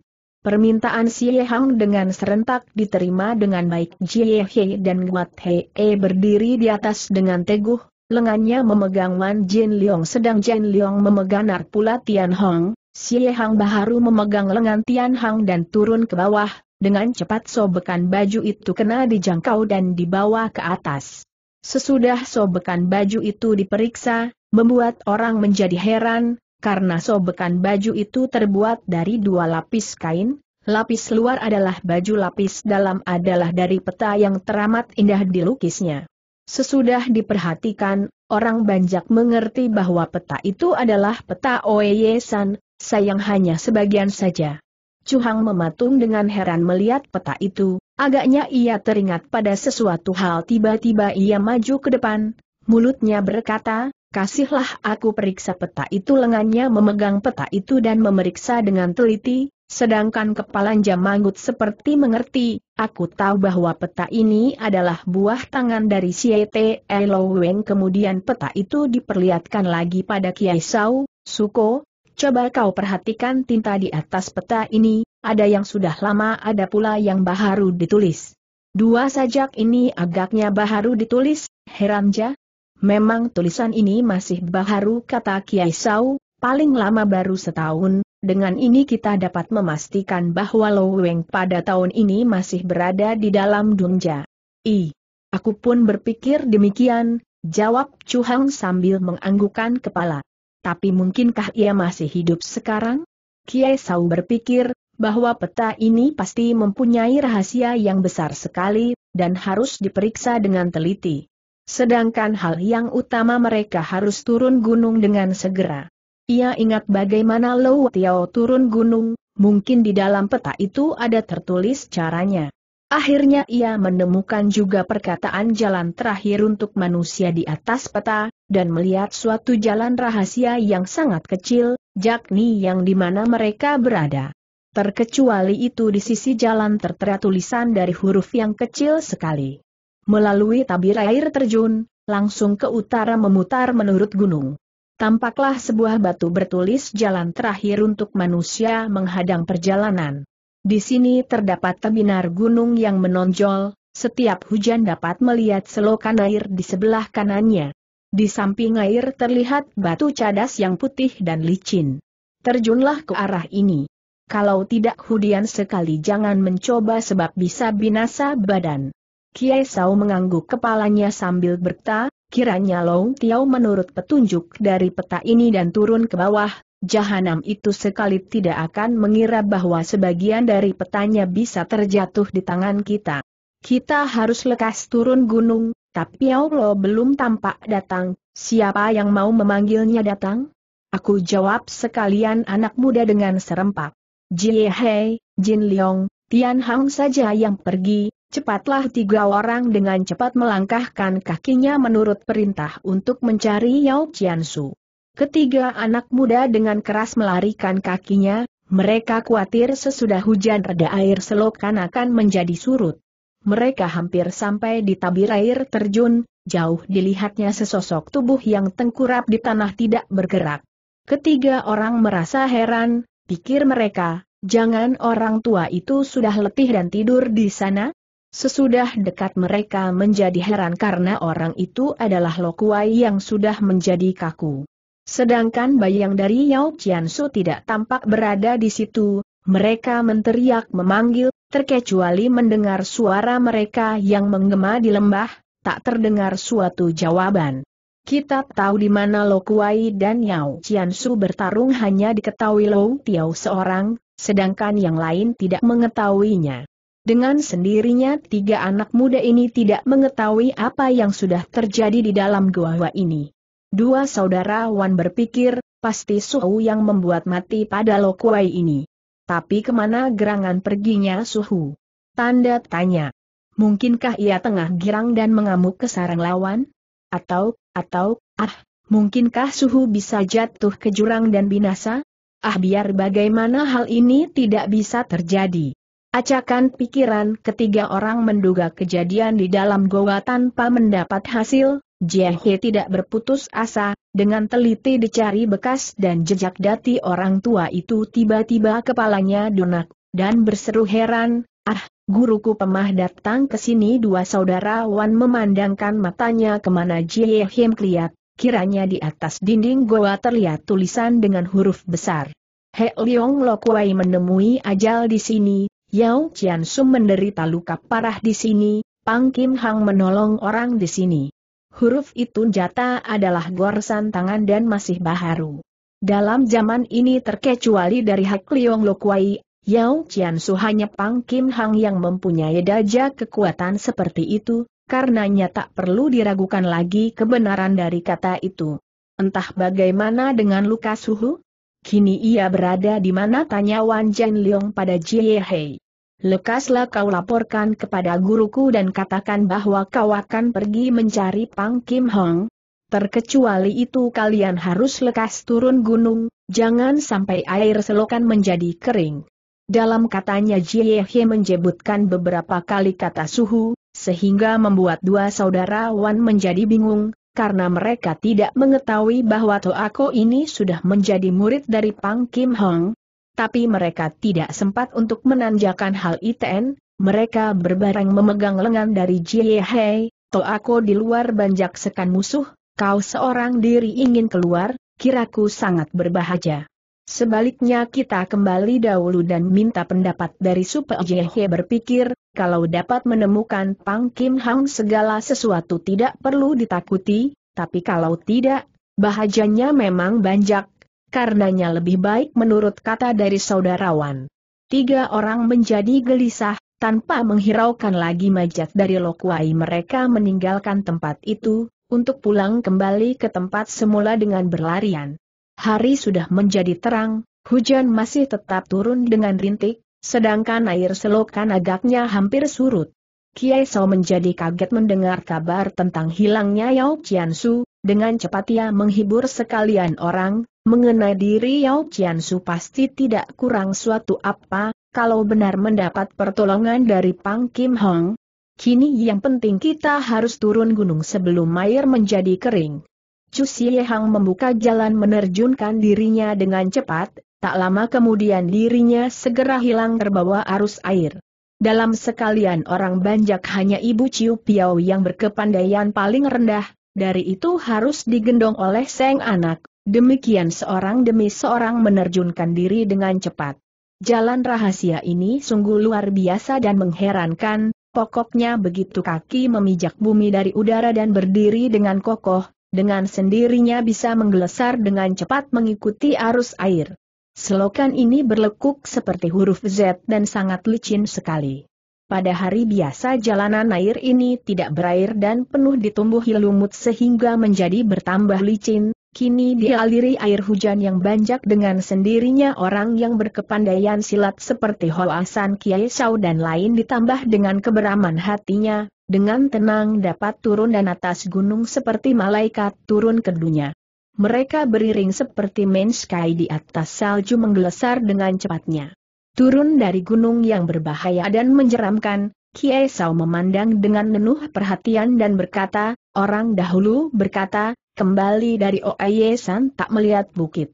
Kalau dunia aman dan makmur, pasti ku lewatkan hari tuaku di gunung yang indah dan menarik ini sehabis berkata ia menarik napas dengan perlahan. Tidak lama kemudian, jalanan rahasia ini sudah agak rata, sedangkan air selokan sudah semakin surut. Andai kata mereka terlambat setengah diam saja, pasti tak dapat turun gunung. Begitu air selokan surut licin japun berkurang, sehingga sukar untuk mengimbangi tubuh. Kiai Sao menampak di hadapannya terbentang tanah datar yang luas. Dengan pohon siong yang tinggi, ia menoleh pada Chu Hong, sebaiknya kita beristirahat di situ Chu Hang mendahului, yang lain melompat dan disusul yang lain, mereka ramai berlarian dengan cepat memasuki pohon siong untuk istirahat. Semuanya merasa girang dan merasa habis bangun dari impian yang aneh, kala membalik kepala menoleh pada Oye San tampaklah Tian Teo Uhang yang terkatung di atas awan dengan megahnya.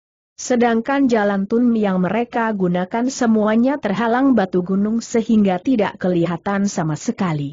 Kiai Sao berseru, agar anak muda berduduk dengan baik, guna merundingkan lagi siasat yang akan digunakan untuk membekuk Long Tiao yang sudah berhasil melarikan diri.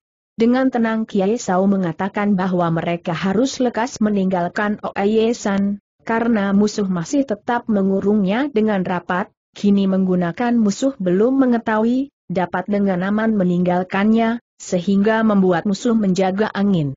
Chuhang tidak berapa memperhatikan perkataan Kiai Sao pikirannya dan matol adi curahkan pada peta yang sedari tadi berada di lengannya. Ia tahu bahwa Lo Weng adalah seorang yang berbakat tentang ilmu bumi, ia pemah melihat dengan matanja sendiri Seng adik melukis peta dari gunung, karenanya ia tahu benar bahwa peta yang dipegangnya ini adalah kepunyaan Seng adik. Tapi tulisan yang baharu itu membuatnya menjadi heran dan ragu. Pikirnya mungkinkah Lo Weng sudah seperti kakak Ja mengabdi pada pemerintah Cheng? Kalau tidak kenapa peta yang dilukisnya ini diberikan pada Lo Tiao sehingga digunakan oleh musuh untuk menumpas bangsa sendiri. Jalan satunya untuk memberikan jawaban soal yang menjesak dadanya ini, harus mencari dan menemui Lo Weng. Saat itu juga ia membuka mulut, kita harus mencari Lo Weng Siete, jalan pengusut satunya terletak pada peta Oyesan yang tinggal separuh ini sayang sudah sobek sehingga sajaknya pun tidak lengkap. Sajak apa tanya Kiai Sau? Cuhang yang meneliti sedan tadi pada peta itu memperlihatkan dua baris sajak yang tidak lengkap. Hilang hubungan dengan dunia luar. Tak ada musim semi dan musim rontok.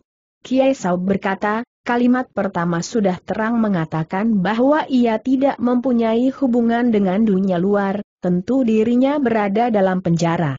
Ja, memang kalimat pertama mudah dimengerti tapi bagaimana dengan kalimat yang kedua? Mungkinkah berarti bahwa dirinya Siete terkurung di dalam suatu tempat yang gelap sehingga ia tidak dapat membedakan waktu?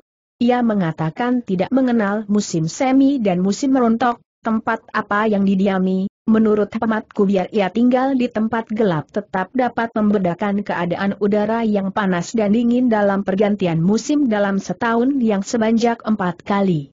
Betul seru Kiai Sau, marilah kita pergi ke tempat yang tidak mempunyai musim semi dan musim rontok untuk menjelidikinya katanya ini memang benar dan masuk di akal, tapi di mana akan dicari tempat yang tidak mempunyai musim semi dan musim rontok, hal ini membuat orang bungkam tak berkata.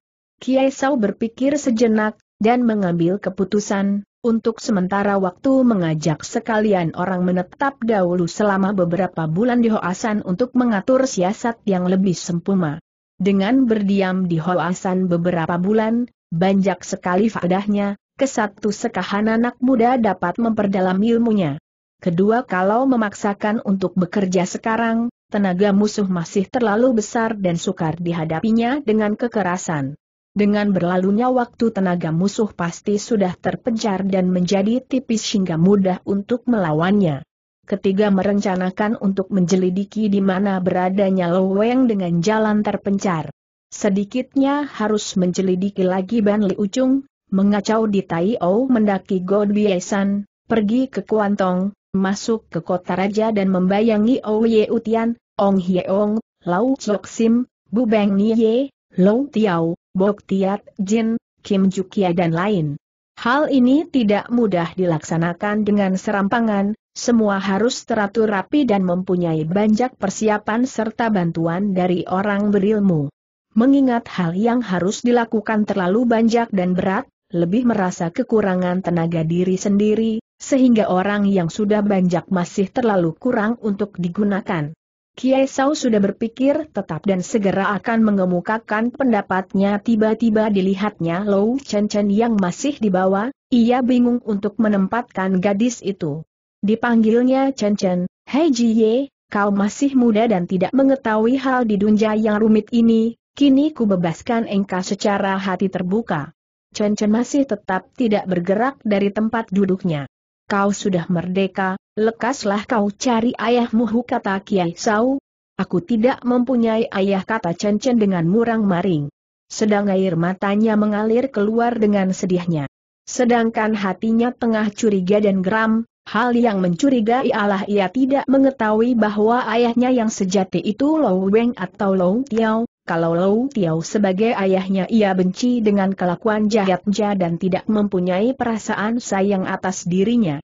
Hei Jie, kata Ibu Chiao Piao maju mendekatinya, kau tidak ingin turut pada ayahmu, tetapkanlah pikiranmu untuk turut dengan kami, kau pikir bagaimana? Aku tidak mau turut dengan kamu jawab Chen Chen sambil melotot dan mengangkat dada. Anak gadis yang kecil ini berpikir bahwa mereka adalah musuh, bahkan baharu bertanding dengannya belum lama berselang, kini dirinya disuruh mengikut, bukankah berarti harus tunduk dan mencerah? Hal ini biar bagaimanapun tidak boleh terjadi. Ia berpikir, aku tidak mau turut dengan siapa pun dan tidak mau mencari siapa juga, aku akan menjelayah dunia Kang Ou seorang diri, ke mana ku suka ke mana ku pergi berpikir eh, sampai di sini tiba-tiba hatinya merasa bahwa dirinya sangat sepi dan sebatang kera, betapa ia merindukan ibunya, tapi Seng Ibu sudah lama meninggalkannya ke alam baka pikirnya ibu pun pasti sangat kesepian berada di tempat jauh.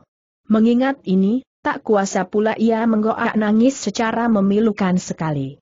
Tanpa berkata dan menoleh lagi ia berjalan lurus. Kau hendak ke mana? tanya ibu Ciu Piau.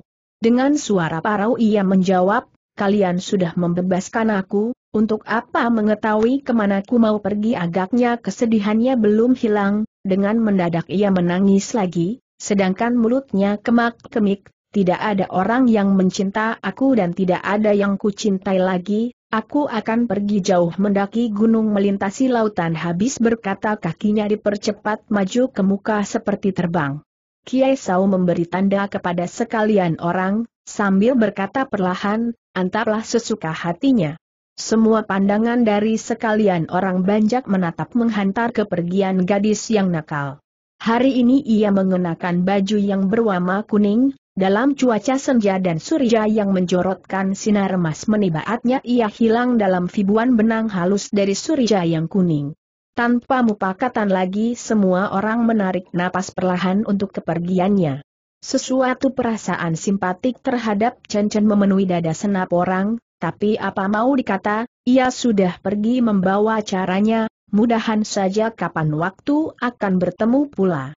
Tak lama kemudian sekalian patriot bangsa, turun tergesa meninggalkan Bukit Kuning, Oayesan, untuk pergi ke Hoasan dalam perjalanan, mereka menjamar sebagai pelancong dan berpencaran seperti tidak mengenal satu sama lain, tapi dia mereka tetap berhubungan.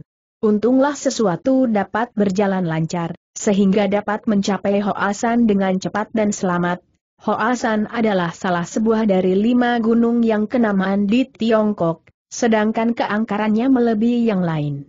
Gunung ini kebanjakan adalah tempat bersembunyinya kaum pencinta negara yang berilmu tinggi, sehingga segala pengkhianat bangsa atau metu dari pemerintah Boan jarang yang berani datang menjelidiki ke sini.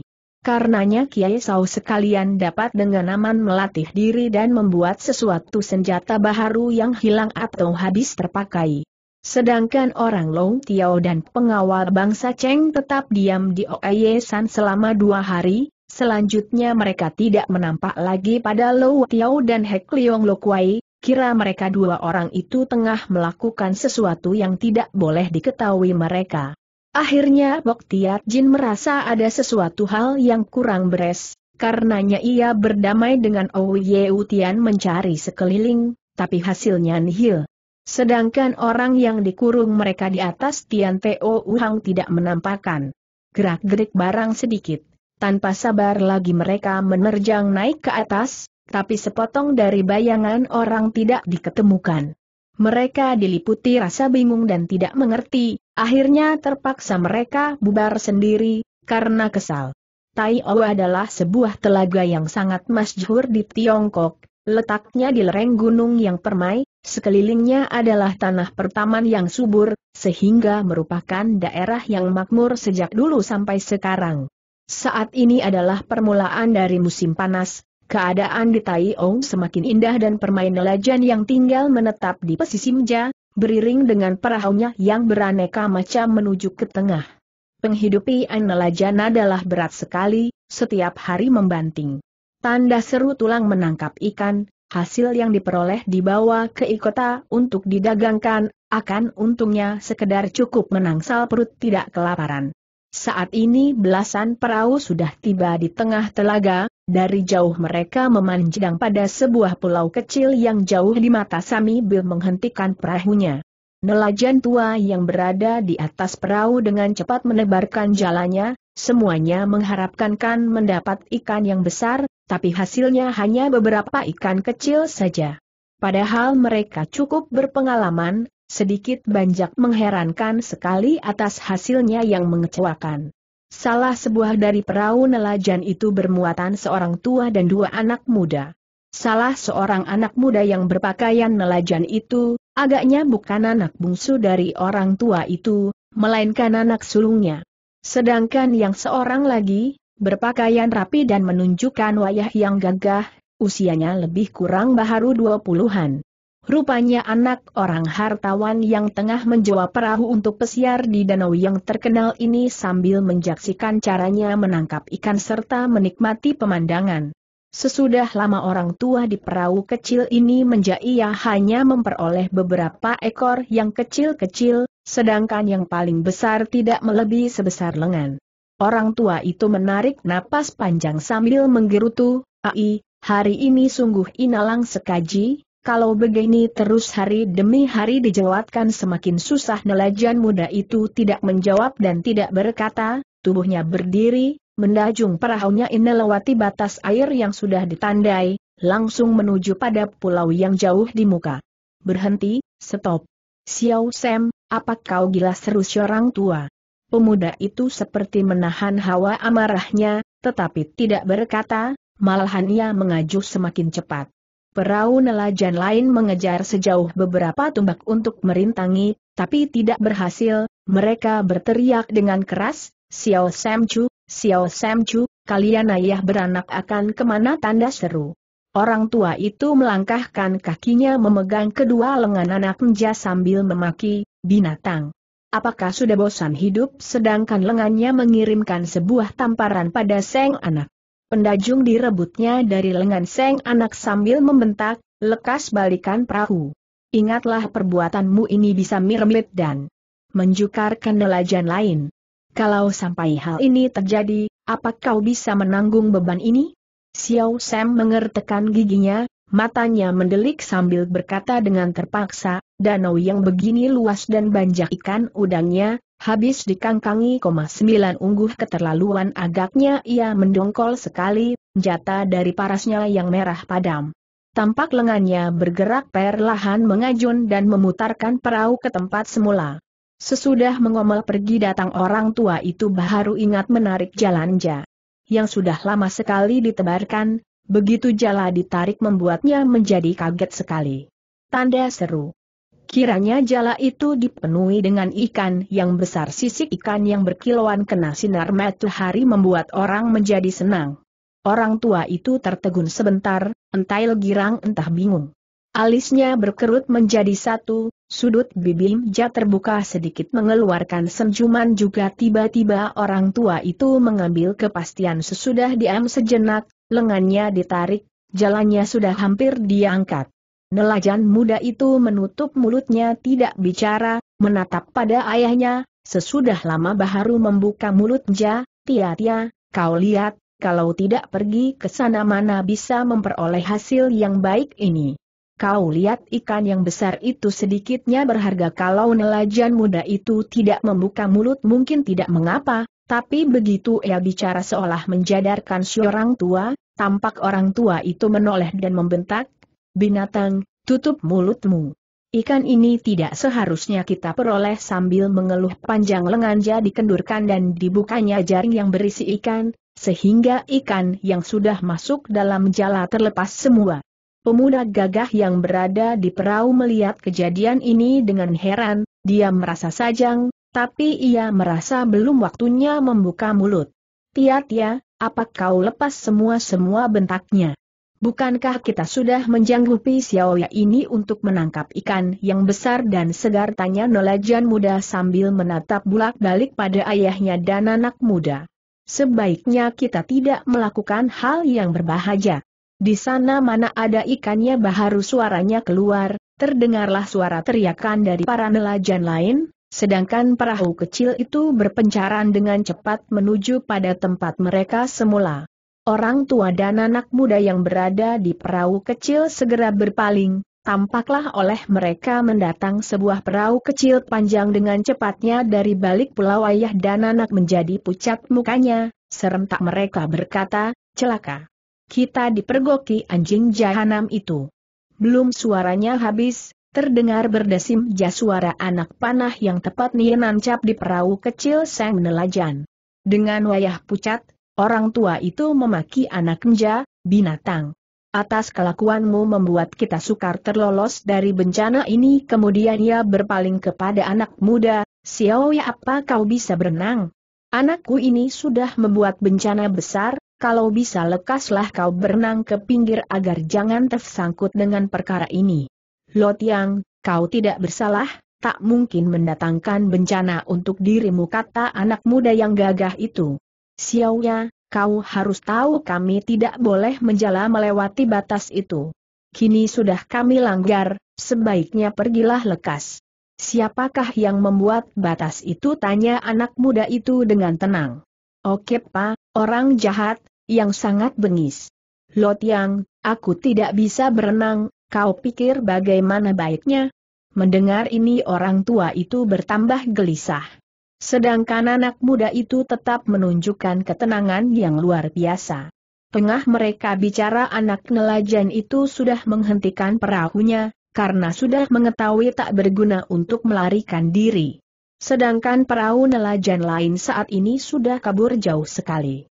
Perahu pengejar sudah semakin dekat, di atas perahu ada dua orang, seorang berusia kira 40 tahun, matanya menunjukkan kebengisan dan kekejamannya.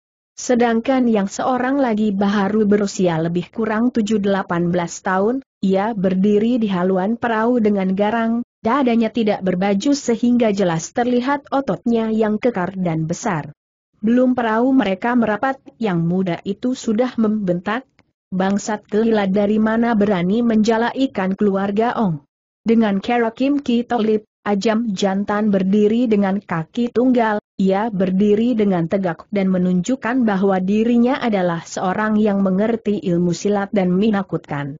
Tapi dalam pandangan seorang ahli segera mengetahui bahwa anak muda jangan temberang laganya ini tidak lebih tidak kurang adalah seorang yang baru mengerti ilmu silat kampungan saja. Walaupun tampaknya ia berdiri dengan kokoh, sebenarnya seluruh ototnya digunakan terlalu berat, sehingga kaku kelihatannya, kalau kena serangan jeriji orang berilmu pasti membuatnya jungkir balik. Sungguh kodok dalam tempurung yang tidak mengenal tingginya langit dan tebalnya bumi. Hui Taijin, kata nelayan tua dengan hormat. Yang rendah sedikit juga tidak berani mencuri ikan keluarga Ong. Kodok dalam tempurung itu membentak dengan gusar, sungguh berani mati. Apa kau berani membantah apa yang kukatakan? Kami melihatnya dengan tegas apa yang kau lakukan. Taijin jangan menjadi gusar, anakku salah memasuki perairan Taijin, benar kami memperoleh banjak ikan, tapi semuanya sudah dilepas kembali. Periksalah apa yang ada dalam perahu kami, sambil berkata orang tua ini memperlihatkan tempat ikan ja pada kodok dalam tempurung. Sesudah bocah itu melirik, segera berkata, untung kau mengenal gelagat, dan ku bebaskan diri tuamu sedangkan matanya melirik lagi pada nelayan muda. Orang tua itu bum berkata, Hui Taijin, maafkanlah anakku yang tidak kenal urusan ini, ia mengajuh perahunya dengan terburu sehingga melewati batas perairan tanpa disengaja. Aku sudah memakinya dan akan menghajam ja lagi sesampai di rumah. Boleh ku bebaskan, tapi jempolnya yang kuat mengajuh itu harus dipotong serunja sambil melemparkan pisau itu ke atas perahu.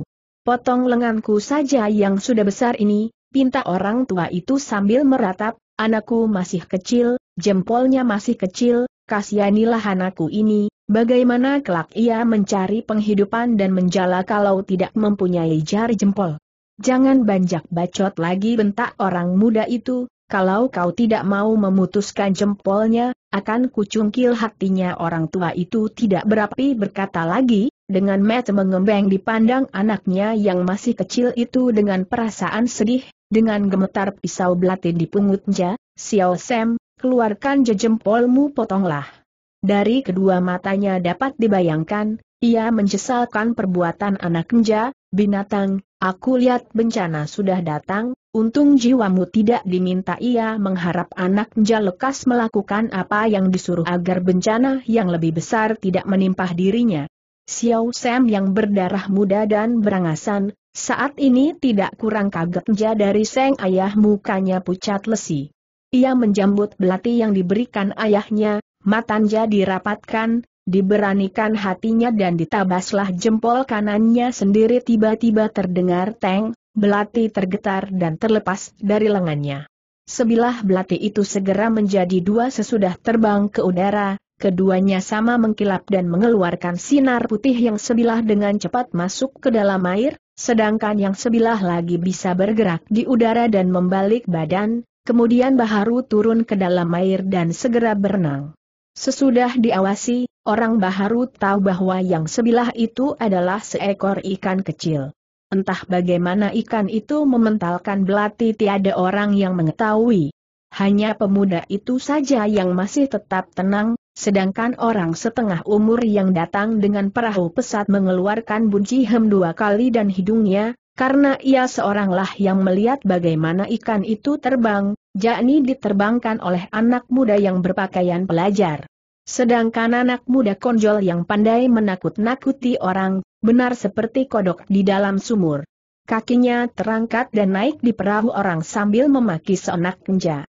Bagus ja, belatiku yang indah itu, berani kau buang, Kini kau harus merasakan sesuatu dari perbuatanmu itu lengan kanannya diangkat tinggi dan digamparkan kepada nelayan muda itu. Plak terdengar suara gamparan, menjusul terlihat pemuda kojol itu berbalik kena dibikin mundur dan hampir terguling ke dalam air. Kiranya pada saat itu kembali terdapat ikan terbang merintangi lengannya, begitu kena tamparan ikan itu segera menggoyang ekomja menggebes, seperti melawan dan berhasil memundurkan Loan. Sedangkan anak nelayan tetap diam dengan baik tanpa menderita kerugian apa. Pemuda yang berada di perahu tetap tenang sambil menggosok lengannya yang basah. Sebaliknya pemuda konjol tidak mengenal gelagat, sesudah serangannya tidak membawa hasil jadi geregetan sekali, matanya mengawasi ke sekeliling untuk mengetahui dari mana datangnya ikan, matanya lianya menampak pada anak muda pelajar itu.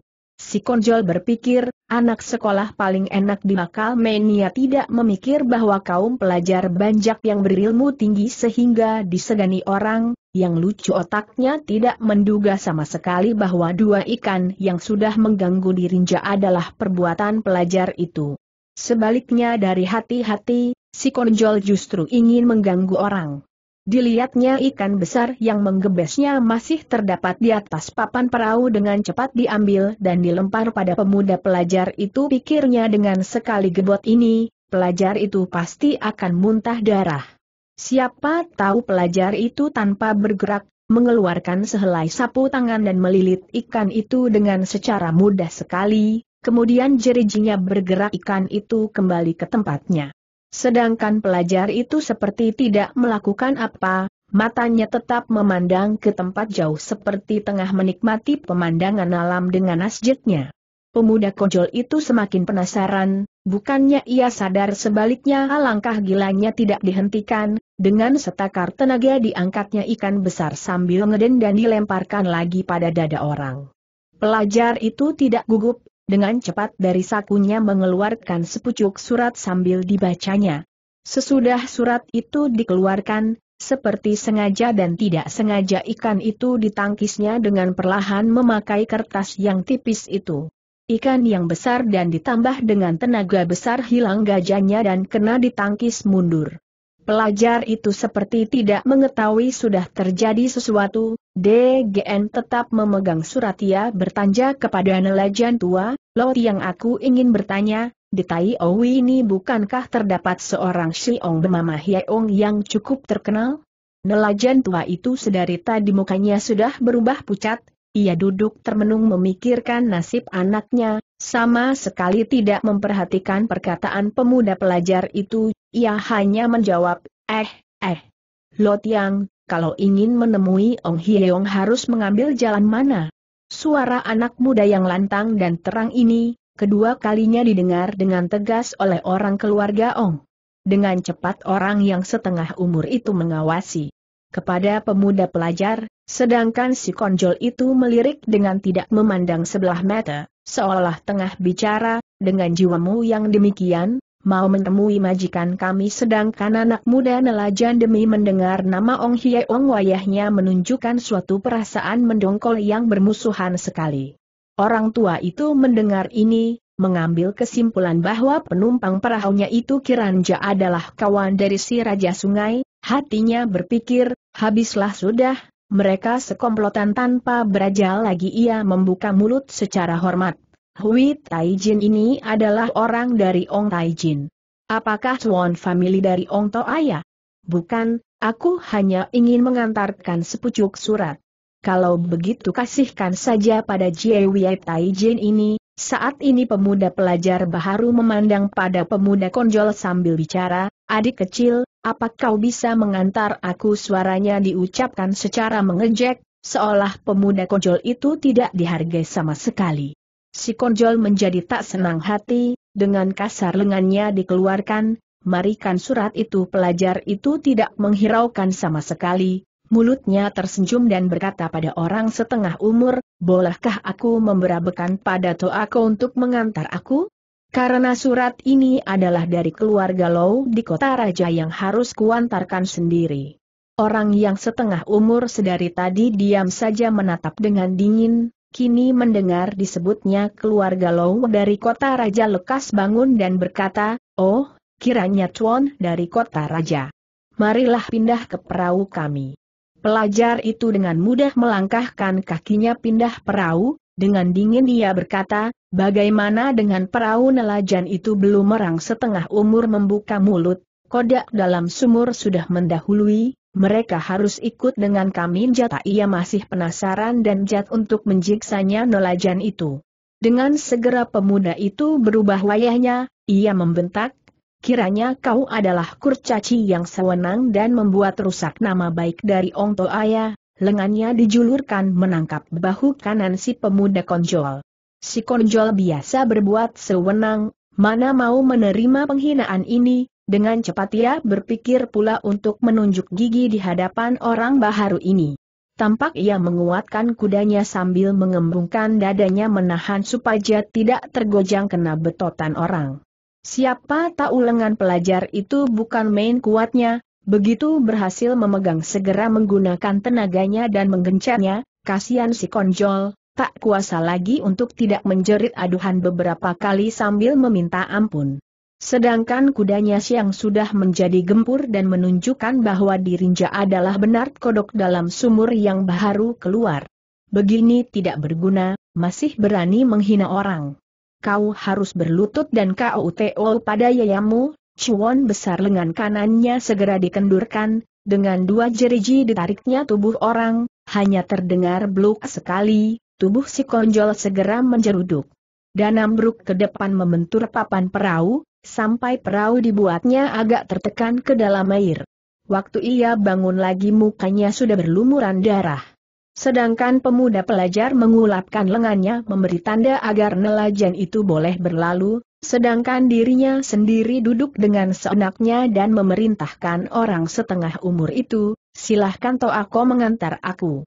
Orang setengah umur itu, cukup berpengalaman dan mengerti bahwa pelajar ini bukan orang sebarangan, ditambah mau mengantar surat pada majikannya, ia berpikir, aku tidak mau menerima kerugian di depan mata, sebaiknya kuajak dahulu menemui Tai Jin Baharu mengambil tindakan, karenanya dengan laku hormat ia membuka mulut, baik, silahkan Tuan duduk dengan tenang, sedangkan matanya melirik memberi tanda pada si kojol agar yang tersebut belakangan jangan membuat onar lagi, sementara itu perahu sudah pesat maju ke depan.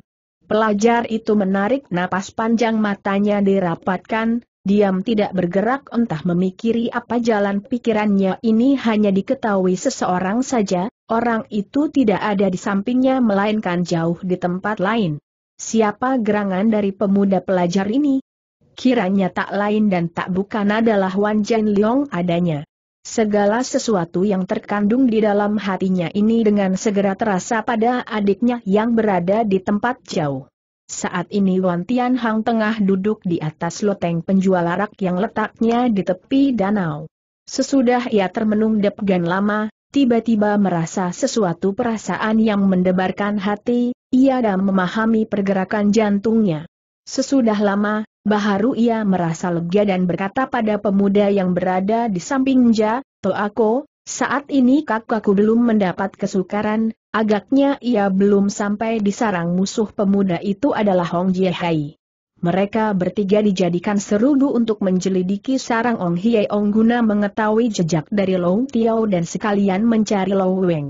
Baiklah kita kembali lagi pada Wan Jian Leong yang berada di tengah danau. Dengan cepat perahu membawa mereka ke perairan Tai Owi yang terdalam. Mereka merasa seperti berada di samudera yang besar, bedanya samudera bergelombang di danau tidak.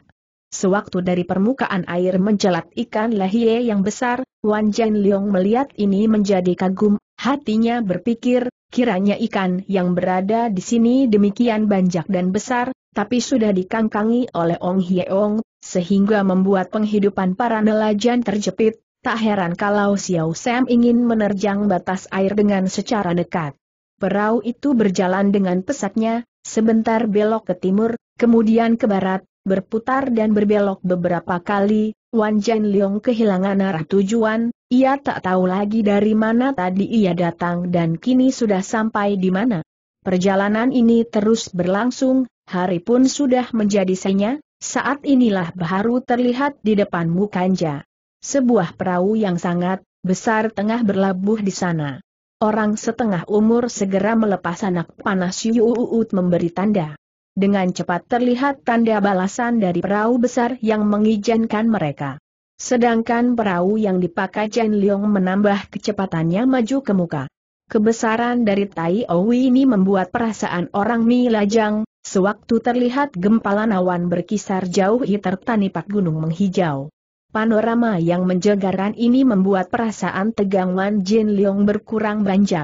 Tiba-tiba dari perahu besar memancar sinar api tengloleng yang besar, tanpa berkata orang setengah umur mengajuhkan perahunya secepat mungkin tanpa berkata.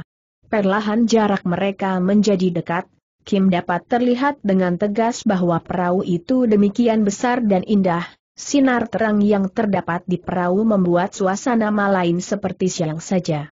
Di atas perahu terlihat sebilah papan dengan huruf Tiaoen yang berarti menjepi. Orang setengah umur kembali melepaskan tiga batang anak panah yang jaring. Begitu suara panah hilang semua tank yang terang benderang menjadi padam. Perubahan ini demikian cepat, membuat suatu istana Dewi yang gilang gemilang mendadak hilang dari pandangan mata dan menjelma menjadi benda gelap, dalam keadaan malam benda itu tak ubahnya seperti segugusan pulau kecil. Diam Jin Leong mengeluarkan pujian tertahan, Tak heran orang Kang Ou menamakan si Raja Tai Ou tidak ketentuan tempat tinggalnya, sehingga sukar untuk menemuinya. Kiran jasarannya adalah sebuah perahu yang bisa berpindah ke mana-mana. Tiba-tiba dari atas perahu besar terdengar suara anak perempuan, tamu dari mana? Dari keluarga Lou di Pakia, ia membawa surat untuk Ong Toaya, jawab laki setengah umur. Anak perempuan itu segera mencuartakan ke dalam, Tak lama kemudian di atas perahu menjalah empat tank yang besar sekali, tank itu sebelah bercat hitam, sehingga yang terang hanya sebagian saja. Bagian yang terang menjorot keluar, membuat orang yang datang terlihat tegas, sedangkan bagian yang hitam membelakangi si pemegang, sehingga tak terlihat wayahnya. Pada saat ini Wan Jan Leong menenangkan debaran jantungnya, dari dalam sakunja dikeluarkan sepucuk surat, dengan gagali ia berdiri di atas perahu dan berkata, aku menerima tugas dari Lo Toaya, guna menjampaikan dengan lengan sendiri surat ini pada Ong Toafa. Silahkan kata seseorang dari perahu besar, menjusul terlihat sebilah papan turun membuat suatu jembatan pada perahu kecil, dua pelajan wanita yang masih muda turun membawa tank. Chujin mempersilahkan Chuan masuk. Jan Leong perlahan menjalurkan tenaga dalam pada kedua kakinya, kemudian meloncat pada papan jembatan. Pelajan membuka jalan sambil berjate, silahkan jalan di sebelah sini Wan Jan Leong celingukan keempat penjuru, ia merasa kagum pada perahu besar yang merupakan istana Dujung Fini. Tapi yang mengherankan bahwa perahu yang demikian besar tidak ada orangnya, hanya dua pelajan ini saja yang tengah berjalan maju ke muka. Sesudah bulak belok beberapa tikungan, sampailah ia di ruangan tengah dari perahu. Pelajan wanita segera menghentikan kakinya dan mengetuk pintu perlahan, tamu sudah tiba, pintu terbuka, keadaan sangat gelap, terdengar jawaban dari dalam, silahkan masuk dari pintu besar terlihat sedikit sinar terang, sedangkan pelajan yang mengiringi segera memadamkan lampu mereka. Dalam sekejap waktu sekeliling menjadi suram, Pemegang sinar lampu kecil mengajak Wan Jian Leong ke hadapan sebuah kursi terukir, silahkan duduk, katanya, sedangkan lampu itu ditaruh di samping, kemudian ia berlalu. Tiba-tiba dari dalam kegelapan berkelebat sesosok tubuh, yang berpakaian sangat indah sekali, sedangkan mukanya menunjukkan penuh wibawa, seorang yang benar berkedudukan tinggi. Ia maju ke muka sambil berkata, majikan kami tengah berada di kamar tidur, Surat itu berikan saja kepadaku, Jin Leong mengepal keras suratnya, perasaannya sedikit gugup, karena surat adalah palsu, kalau diserahkan pasti dapat diketahui lawan. Dengan cepat diberanikan dirinya, surat itu diserahkan. Orang itu menjambut surat dan mencelat mundur, gerak-geriknya sangat lincah dan mengagumkan, sedangkan tubuhnya hilang dalam kegelapan. Sesaat kemudian dari depan terdengar suara parau dari orang tua yang didahului dengan manja. Siapa nama Tuan yang mulia Wan Jen Leong memandang kepada arah suara, dalam kegelapan ia tak berhas melihat wayah orang dengan tegas.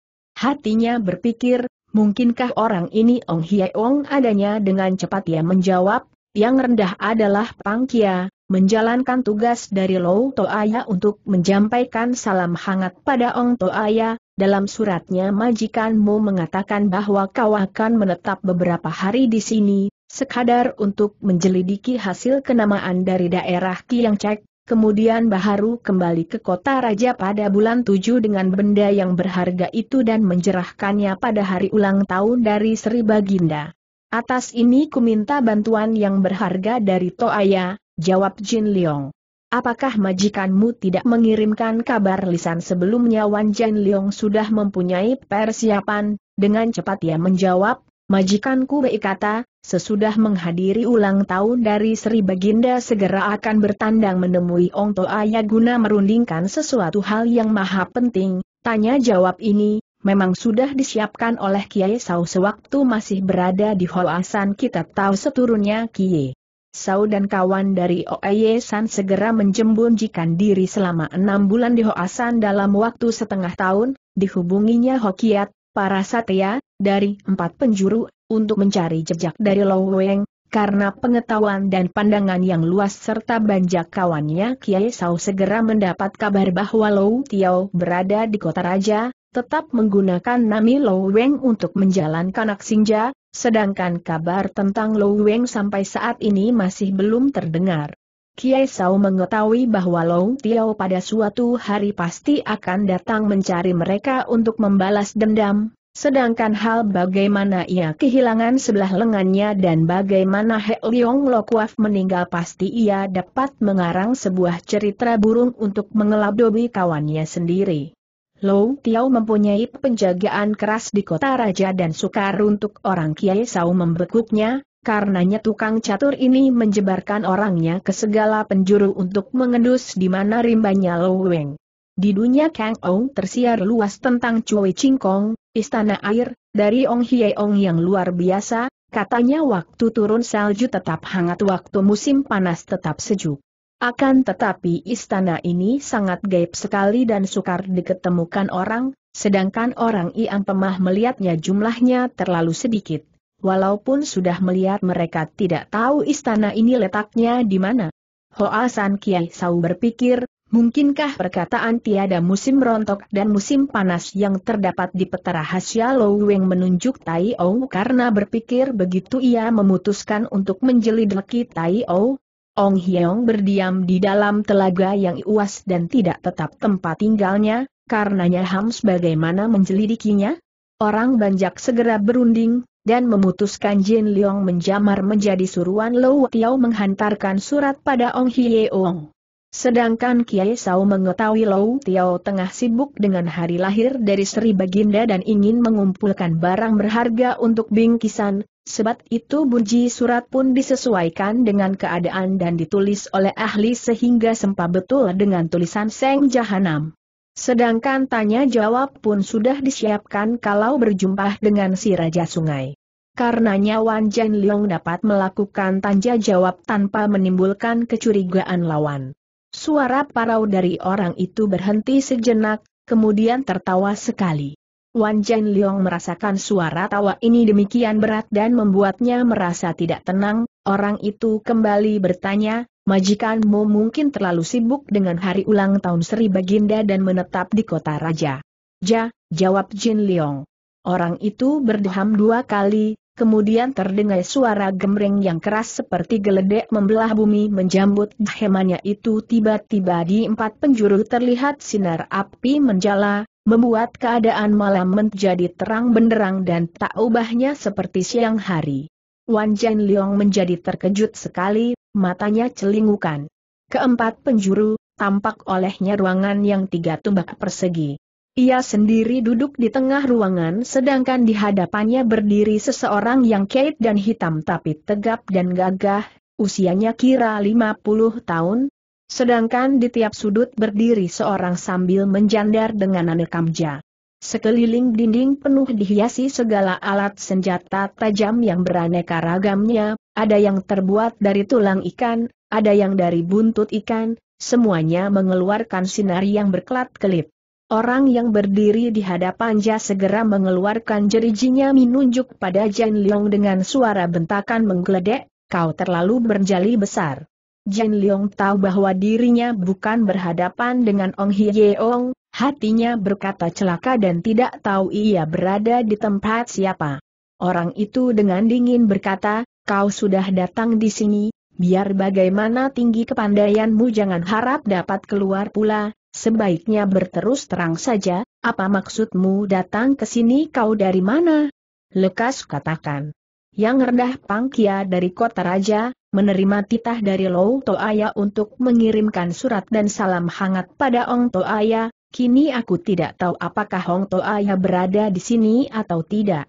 Hai, budak yang tidak takut mati, kalau tidak kubuka kedokmu mungkin kau masih penasaran, dengarlah. Bahwa majikan kami saat ini tengah minum arak dengan Lou Toaya. Kau adalah utusannya masa tidak mengetahui hal ini. Hai eh Wan Jen Leong bukan main kagetnya, sama sekali tidak menduga usahanya bisa kebentur soal yang di luar dugaan sekali. Otaknya berputar, akalnya segera timbul, tubuhnya segera bangkit dan jalan keluar, kalau benar majikanku berada di sini kau harus mengantarkan aku untuk menemuinya orang Kate itu agak bingung sebentar, dalam waktu sekejap tidak bisa ia menahan langkah kaki dari tamunya Jan Leong sudah berada di ambang pintu masuk. Berhenti bentak si Kate. Seiring dengan suara bentakan dari dalam keluar seorang yang berkepala besar dan berdagu lancip, lagaknya serupa benar dengan secekor kera. Ia tertawa, kawan kau adalah tamu dari keluarga Ong, kini sudah berada di sini untuk apa tergesa berlalu, dengan cepat Lejan Leong mengangkat lengan kirinya ke atas bahu kanan dan memukulkannya pada dada penghadang. Dengan cepat orang itu menarik dadanya, sedangkan lengan kanannya Ni lakukan serangan balasan. Jin Leong menibalik lengan Ja dan menangkap lengan lawan sambil menekan jalan darahnya, lengan kanan Ja berbareng dengan cepat menghunus pedang naga, kalau ingin selamat lekas dan minggir pedang itu diputam Ja ke depan menggertak, membuat penghadang di muka lari meninggalkan ruangan Jin Leong mengangkat kakinya untuk merat, tapi sial bagi Baharu Seng kaki terangkat sedikit. Pintu sudah tertutup dengan menimbulkan suara keras, sedangkan di belakang kepalanya berkesyur angin dari senjata lawan. Berbareng dengan ini dari kiri kanan mendatang beberapa orang.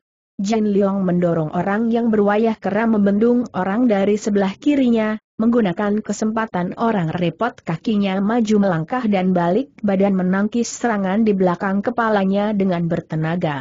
Terang, bunyinya sekali, kedua orang masing-masing merasakan tergetar lengannya, mereka sadar bahwa kekuatan masing-masing tidak berjauhan satu sama lain Jen Leong sebenarnya berniat memutarkan pedangnya membuat suatu lingkaran perlindungan, Siapa tahu pedangnya tidak dapat digerakkan dengan bebas, seolah seperti terjepit semacam benda.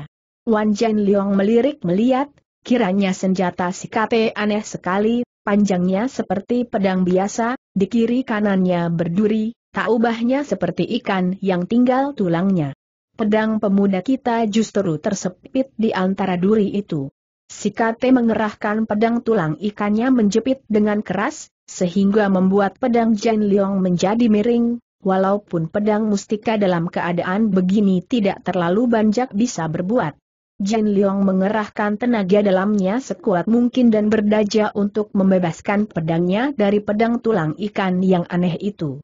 Pedang tulang ikan sudah aneh, jurus ilmu pun aneh pula Jin Leong berdaja untuk membebaskan dan menarik pedangnya, apa mau pedang tulang ikan pun dikerahkan pemiliknya menekan dari atas ke bawah dengan cepat.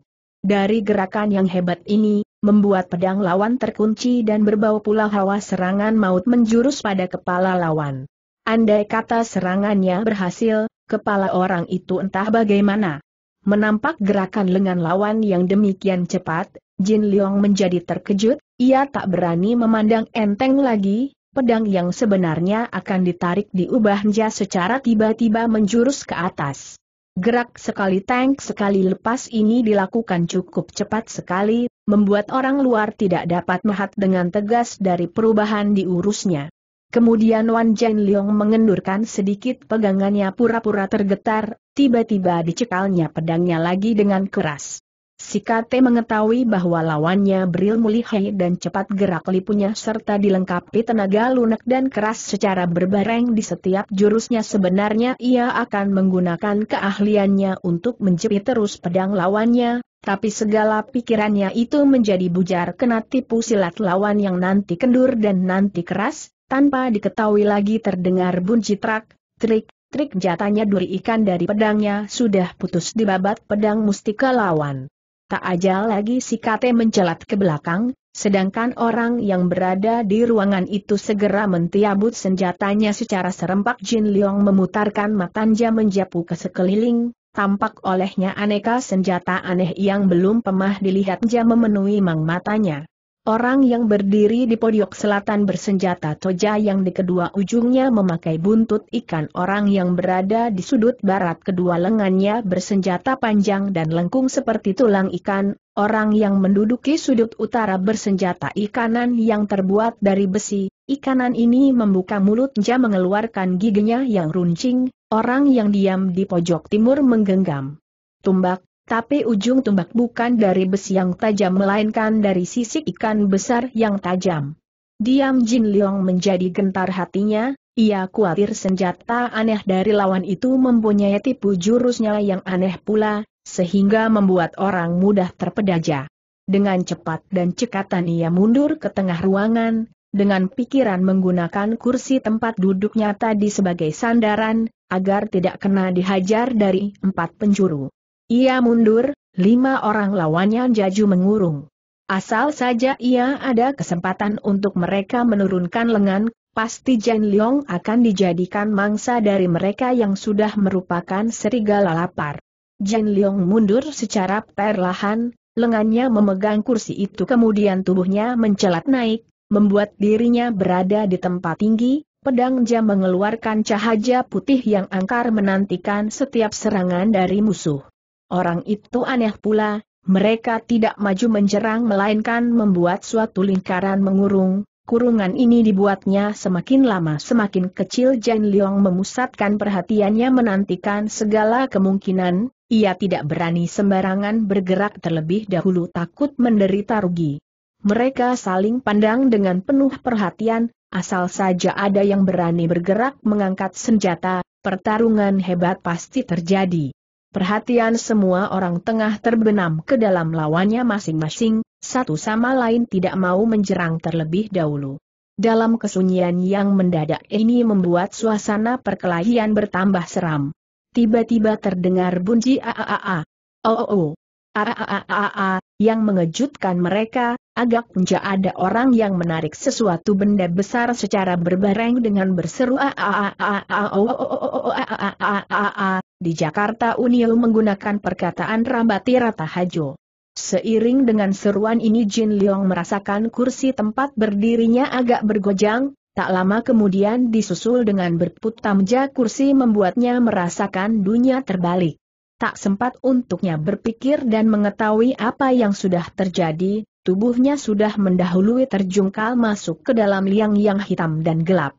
Baharu kaki Jin Leong memijak bumi, segera ia dongak ke atas, tampak olehnya liang di atas kepalanya sudah ditutup orang dengan semacam benda yang menimbulkan suara beruk. Membuat pemuda yang gagah terkurung di dalamnya kisah beralih ke warung arak yang berada di tepi Tai Ong Jiehai yang tengah meneguk arak menjadi kaget mendengar seruan dari Tian Hang yang menyebutkan celaka. Kenapa tanya Jiehai dengan cepat, sambil meletakkan cawan araknya. Pada saat JG bersamaan tamu lain yang berada di ruangan itu menunjukkan paras berubah, semua mata ditujukan kepada gadis kita dengan penuh perhatian. Beberapa orang ini kiranya tidak lain dari Chu Hang dan Chiu Piao serta Guat Hei, sedangkan Kiai Shao dan Chu Hang pun berada di situ pula sebenarnya mereka menjamar sebagai orang yang tidak mengenal satu sama lain dan duduk terpisah, sekadar menghindarkan kecurigaan orang. Tapi waktu mendengar seruan celaka dari Tian Hong, mau tak mau para muda-mudi menunjukkan perasaan kekhawatirannya, hanya Kiai Sao yang sudah hulung dalam dunja Kang Ong tetap tidak menunjukkan perubahan wayahnya, matanya tetap memandang ke tempat lain seperti tengah menikmati keindahan alam dari telaga yang terkenal itu. Tapi dia matanya mengawasi gerak-gerik dari seorang loyei, sebulan untuk wanita tua, wanita ini walaupun berpakaian tua yang sudah pecah dan titik seperti nelajan umumnya tapi sinar matanya demikian tajam dan bukan orang sembarangan. Loyei itu mengerlingkan matanya menjapu sekalian wayah dari anak muda kita. Kiai Sau tambah Loyei itu tengah memperhatikan anak buahnya, saat itu juga ia berlaku terlebih hati-hati. Tanpa sadar lagi Wan Tian Hang membuka mului, Toako, kiranya ada hal tidak benar atas diri kakakku. Mungkin dirinya itu sudah menemui Jiahai mengetahui bahwa rumah makan ini bukan tempat yang baik untuk berunding, dengan cepat ia mengangkat cawannya sambil berkata, Moichu, marilah kita keringkan cawan ini dan pulang untuk istirahat. El Tian Hang dengan cepat sudah mengerti maksud saudaranya, dengan cepat katanya ditelan lagi, dengan cepat mereka membajar kening sesudah itu segera turun dari loteng. Tak lama kemudian Chu Xie Hong, Chiu Piao dan Wat Hei pun turun ke bawah. Kesemua ini diawasi di dalam Met Celoyai itu. Kiai Sao mengetahui bahwa urusan menjadi tidak benar, tapi dalam saat ini biar bagaimana ia harus berada dalam keadaan tenang, untuk menghindarkan kecurigaan orang ia menuang arak penuh dan meneguknya menjadi kering, arak yang baik pujinya, kemudian ia berpaling pada pelajan, bawakanlah satu katil lagi Chuhang pun adalah orang Kengou yang sudah berpengalaman sekali, ia tahu maksud Kiai Sau, karenanya ia pun menuang arak menemani Kiai Sau minum seenaknya seperti tidak kejadian sesuatu apa. Baharu mereka minum kering dua cawan, tampak oleh mereka Loyei itu berdiri dari tempat duduknya, kemudian berlalu sesudah melemparkan perak hancur kepada pelajan. Sekali lihat saja Chuhang sudah mengetahui bahwa langkah wanita tua itu demikian ringan dan berilmu tinggi. Dengan cepat mereka pun turun dari loteng membuntuti Loyei tersebut. Saat ini keadaan gelap sekali, walaupun demikian wanita tua itu dapat berjalan dengan langkah yang pesat. Ia berjalan terus, sedangkan Kiai Shao dan Chuhang membayanginya dari belakang. Kiai Sao merasa heran sekali, karena Loyei itu berjalan menuju ke tempat di mana para anak muda berkumpul sebenarnya Wan Tian Hang dan saudaranya sudah berjalan jauh, tapi mengherankan sekali bahwa Loyei itu dapat membunlutinya dengan tak salah. Sambil membayangi Kiai Sao tetap merasa heran, ia berpikir, Jie sudah berlalu demikian jauh dan tidak meninggalkan jejak sama sekali, tapi kenapa Loyei ini dapat mengikuti mereka terus sesudah mereka melewati beberapa belokan, Chuhang yang matanya awas sudah mulai melihat sesuatu yang mencurigakan, kiranya di setiap sudut terdapat seseorang dengan kepala digubet kain putih.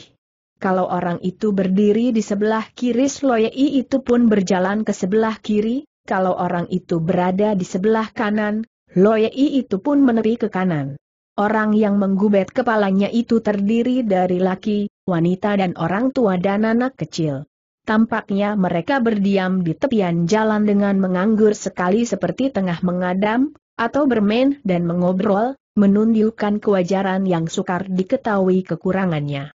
Tapi untuk Chuhang hal ini menarik perhanannya sekali. Dengan keadaan begini kita bisa menarik kesimpulan, bahwa orang yang menggubet kepalanya dengan kain putih adalah anggota dari sesuatu perkum titik bulan yang besar, tempat ini pasti sudah berada dalam kekuatannya. Loyei itu agaknya adalah pemimpin dari mereka Cuhang tak berani menentukan orang ini kawan atau lawan. Kalau benar merupakan lawan, berarti mereka sudah berada di dalam lengan musuh, karenanya bahaya dapat mengancam pada setiap detik. Jalan punya jalan, kota sudah dilcuati, merek mulai masuk ke daerah yang sepi. Loyei itu dengan cepai membentangkan ilmu mengentengkan tubuh maju ke depan seperti terbang. Kiai Sao dan Chu Hang Leraj membuntuti dengan jarak yang tertentu. Akhirnya mereka sampai pada suatu tempat yang sunyi sekali, di situ hanya berdiri beberapa rumah gubuk yang mengeluarkan sinar pelita yang berkelap-kelip. Dengan cepat Loyei itu masuk ke dalam salah satu rumah dan hilang dari pandangan mata. Orang yang membayangi di belakangnya segera berteriak, celaka melihat keadaan ini, kedua jago tua kita tanpa menunjukkan diri segera bertiarap di atas tanah, sedangkan match mereka tak lepas memandang ke depan menantikan sesuatu gerakan. Mereka berkhawatir karena rumah yang dimasuki Loyei adalah Li Impat berkumpul dari sekalian anak muda kita. Tiba-tiba Kiai Sau melihat salah satu pelita dari rumah gubuk menjadi padam, dalam keadaan gelap dilihatnya lima anak muda menjelat keluar dari dalam rumah dan bersikap mengurung rumah gubuk itu, menyusul terdengar suara bentakan dari Ong Jiahai, manusia macam apa yang berani mencuri dengar perkataan kami, lekas turun. Tiba-tiba dari atas wuwungan rumah berkelebat sesosok tubuh, Jakni Loyai tersebut.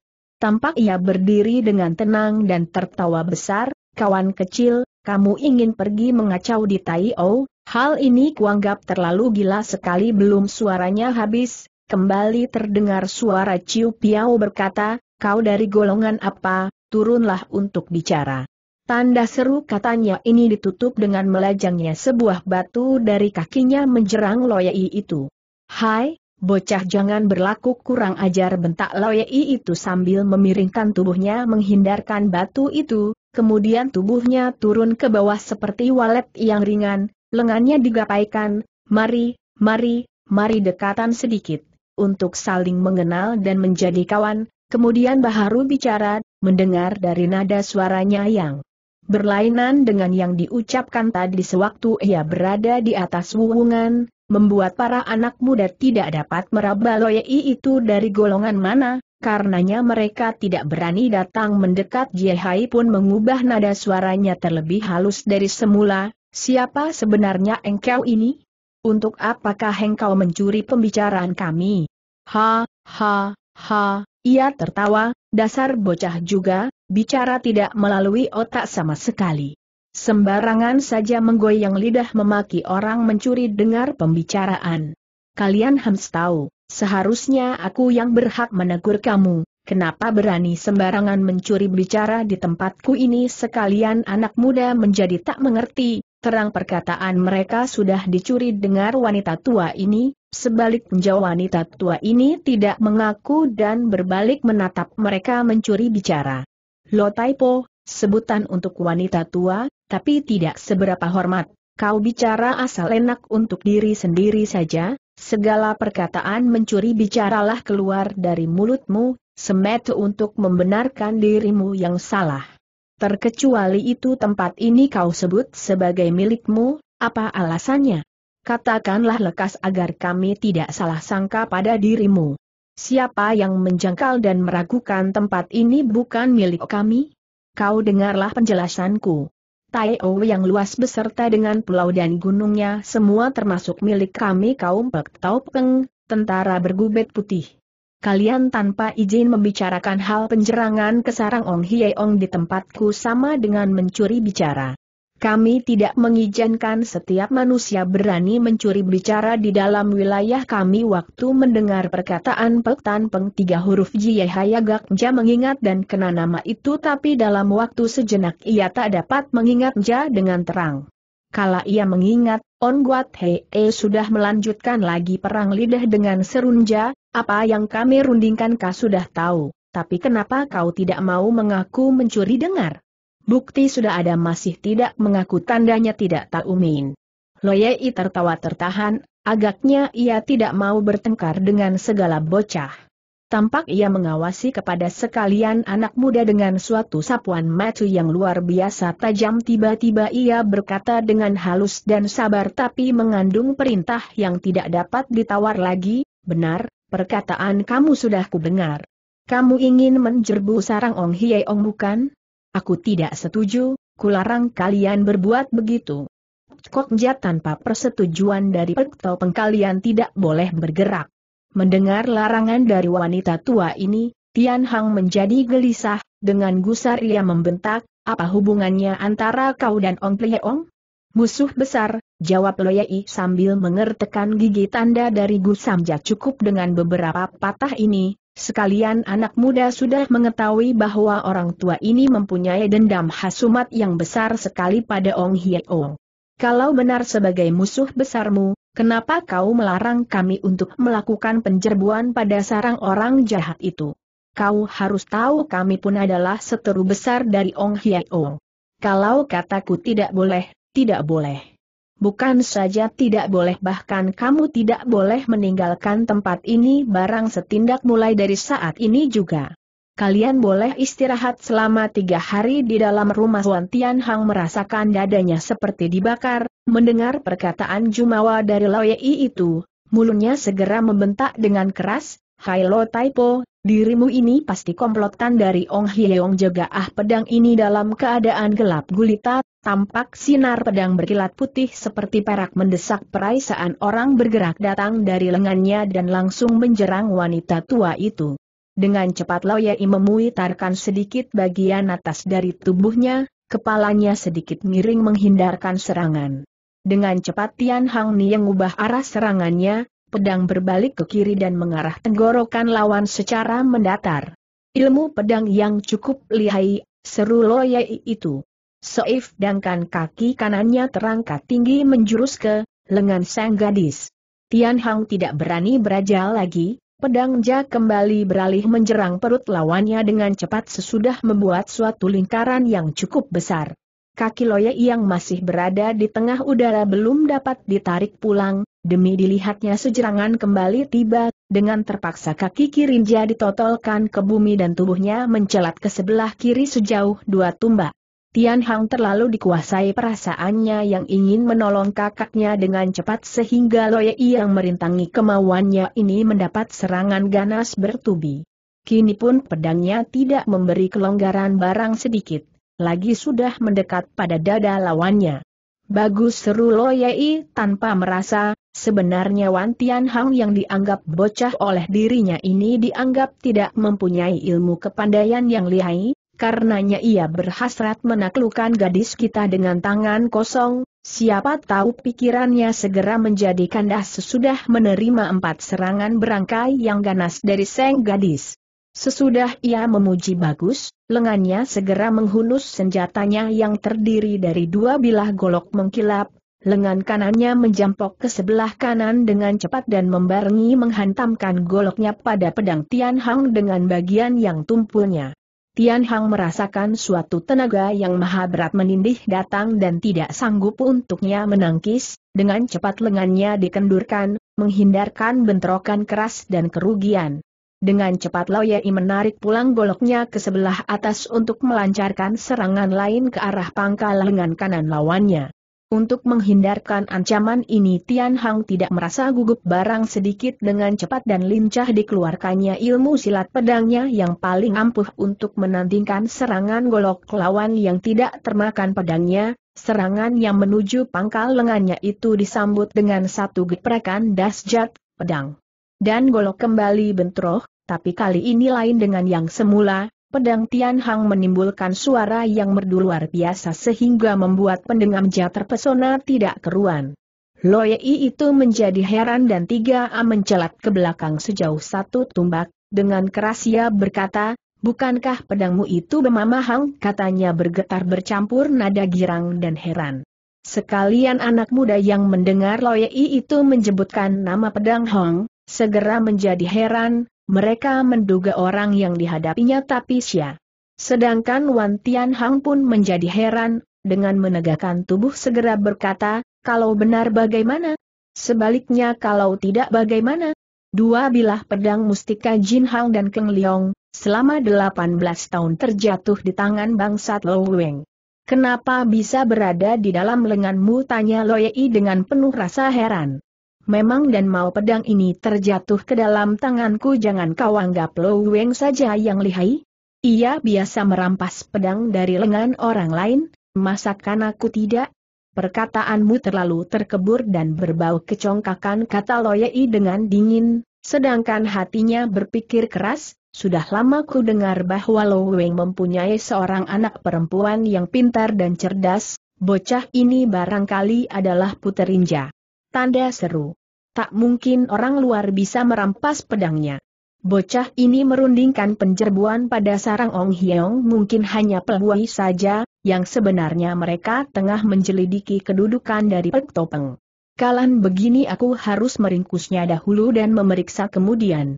Sesudah pikirannya tetap, tiba-tiba pedangnya diputarkan di atas kepalanya, sedangkan mulutnya mengeluarkan siulan panjang dan berkau keras, siap. Tangkap mati musuh ini seiring dengan hilang sunyi suaranya, tampak keluar dari kaki gunung, dari dalam danau, dari bawah pohon dan dari balik batu, beratus-ratus orang. Dengan bersenjatakan lengkap menerjang laksana air bah membobol tanggul, dalam waktu sekejap saja sekalian anak muda sudah dalam kurungan yang rapat sekali, Loyei tetap mencekal sepasang goloknya dan menjerang dengan cepat pada Tian Hong.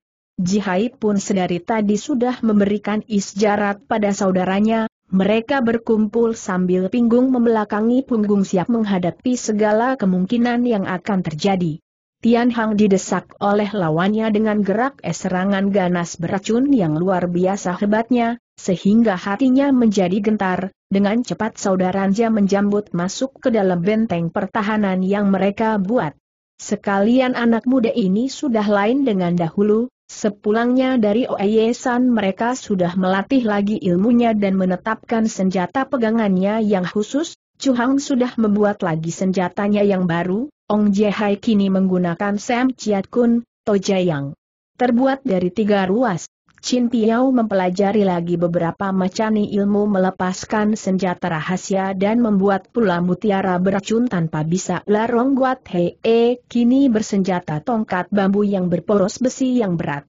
Kini mereka menghadapi musuh secara bersatu padu tanpa gentar barang sedikit.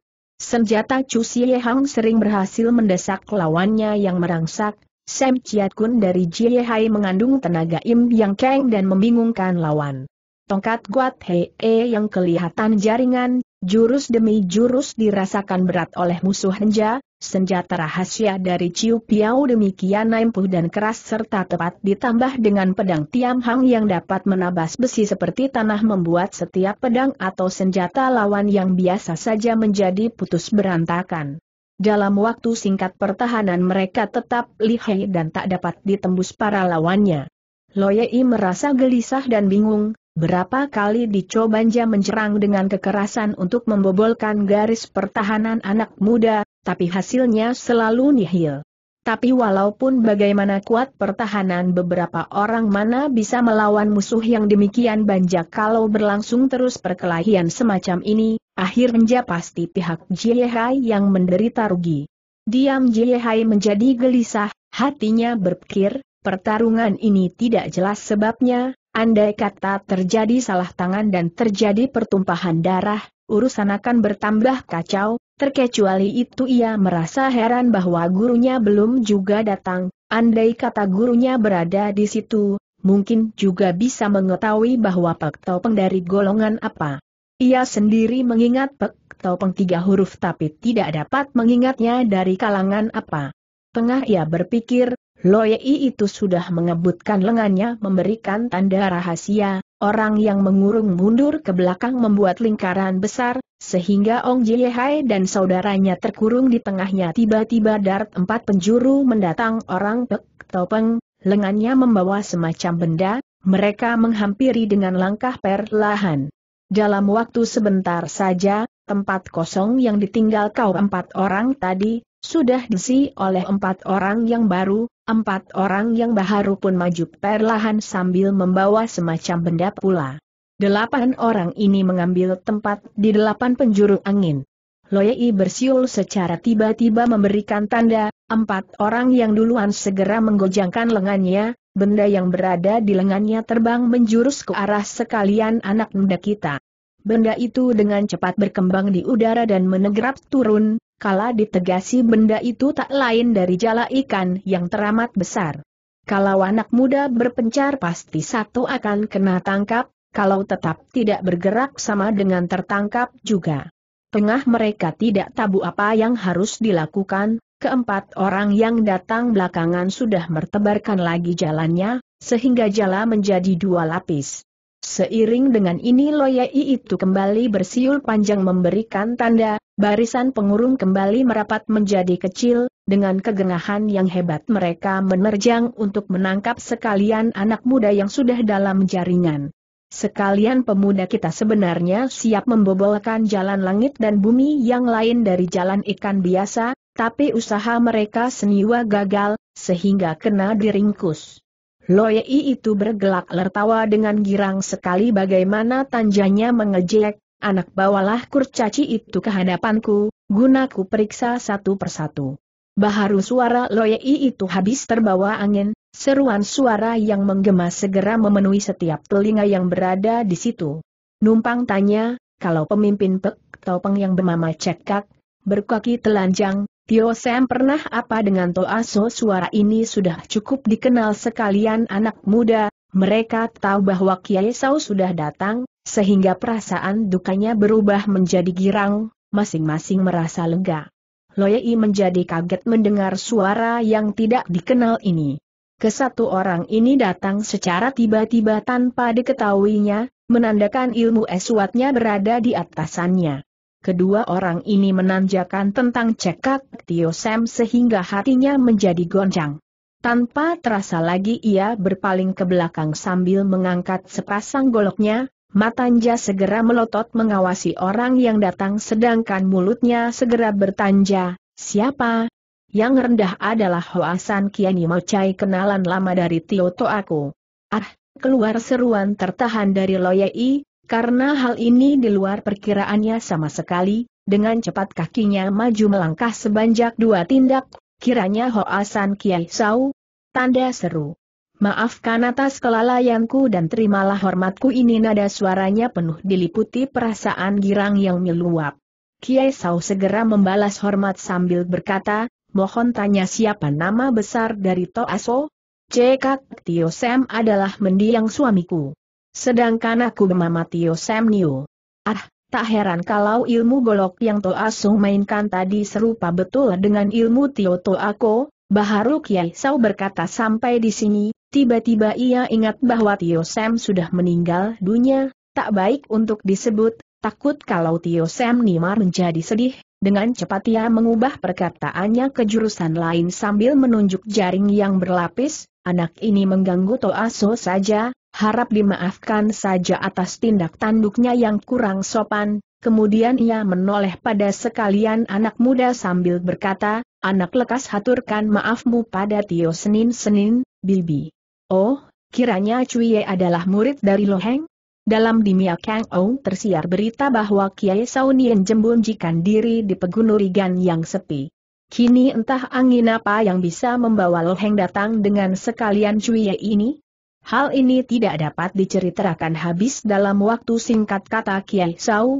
Kemudian ia menceritakan kejadian OESan sepintas lalu. Saat ini Sam Nio sudah membebaskan Jehai dan saudaranya, sesudah Nian dengar penuturan dari Kiai Sau. Ia pun berkata, oh, kiranya putranya Wan Ano To aku terjatuh di tangan Ong Hieung, tak heran kalau barusan Cuye ingin lekas menerjang sarang si Raja Sungai. Benar, Hal ini dilakukan karena terpaksa. Nyoto aku, ku minta hal ini sebaiknya ditunda dulu, sedangkan matanya melihat wayah bingung dari sekalian anak muda, kita adalah orang sendiri, karenanya tidak halangan untuk kuterangkan rahasia dari Pek Peng, tambahnya. Saat ini Jie sudah mengingat tentang permulaan tentara Cheng masuk ke Tiongkok di sana-sini di tentang Rakyat. Saat itu tentara rakyat yang berada di Taiou menggubet kepalanya dengan kain putih dan menamai diri Pek Tau Peng, tentara berkepala putih. Adapun pemimpinnya yang paling terkenal ialah Cekak Tio Sen. terkecuali itu mereka merupakan suami istri yang pandai menggunakan sepasang golok dan pandai bermain di dalam air. Belakangan Tio Sam kena dijebak Han Sim Kang, mula diajaknya berdamai, sewaktu sampai di medan perundingan segera diloloh harak dan ditangkap kemudian dibunuh. Sejak itulah Hong Ong menghantam kaum Pek Peng yang kehilangan pemimpin dan menjadikan diri sebagai Paong di Tai O, Jie Hai mengetahui hal ini dari gurunya, kini ia tahu bahwa Loye yang tengah dihadapinya adalah Tio Sam Nio, tanpa rasa timbul rasa hormatnya dan mendengari perkataan orang tua itu dengan penuh perhatian. Tio Sam Nimar memandang jauh ke tengah danau dengan lama, tiba-tiba ia berkata, Samko. 15 tahun aku meninggalkan Tai O, akhirnya aku dapat kembali ia menoleh pada Kiai So menjambung perkataan Ja. Tak perlu kiranya aku merahasiakan tentang kami, mereka mengira aku sudah meninggal pada tahun yang lampau sebenarnya hal itu ada salah aku tetap tidak meninggal, bahkan pada tahun yang lalu secara diam aku kembali membentuk tentara Pek Peng dengan berhasil. Kini sudah kuputuskan untuk bangkit kembali guna menghancurkan anjing pemerintah asing dan menghilangkan penghisap rakyat sekalian membalas dendam atas kematian dari suamiku dan rakyat sekalian. Tiga hari yang lalu kami sudah mengetahui kedatangan kalian ke tempat kami ini, sebaliknya kalian tetap tidak mengetahui tentang adanya Pak Topeng. Sekalian penduduk kota sudah menggabungkan diri untuk bersama menuntut balas salas kejahatan Ong Hieong, sehingga tiada kabar yang bocor. Walaupun demikian terhadap orang luar kami berlaku hati-hati, karena itu kami minta maaf kalau tindak tanduk dari saudara selalu mendapat pengawasan dari kami. Mendengar ini Kiai Sao menjadi berpikir, kenapa aku tidak mengetahui ada orang mengawasi kami? Ah, tak perlu heran, karena setiap pelosok kota sudah dikuasai sekalian Topeng sesudah berpikir ia tersenyum sendiri, mendengari terus apa yang dikatakan Tio Sam Nie.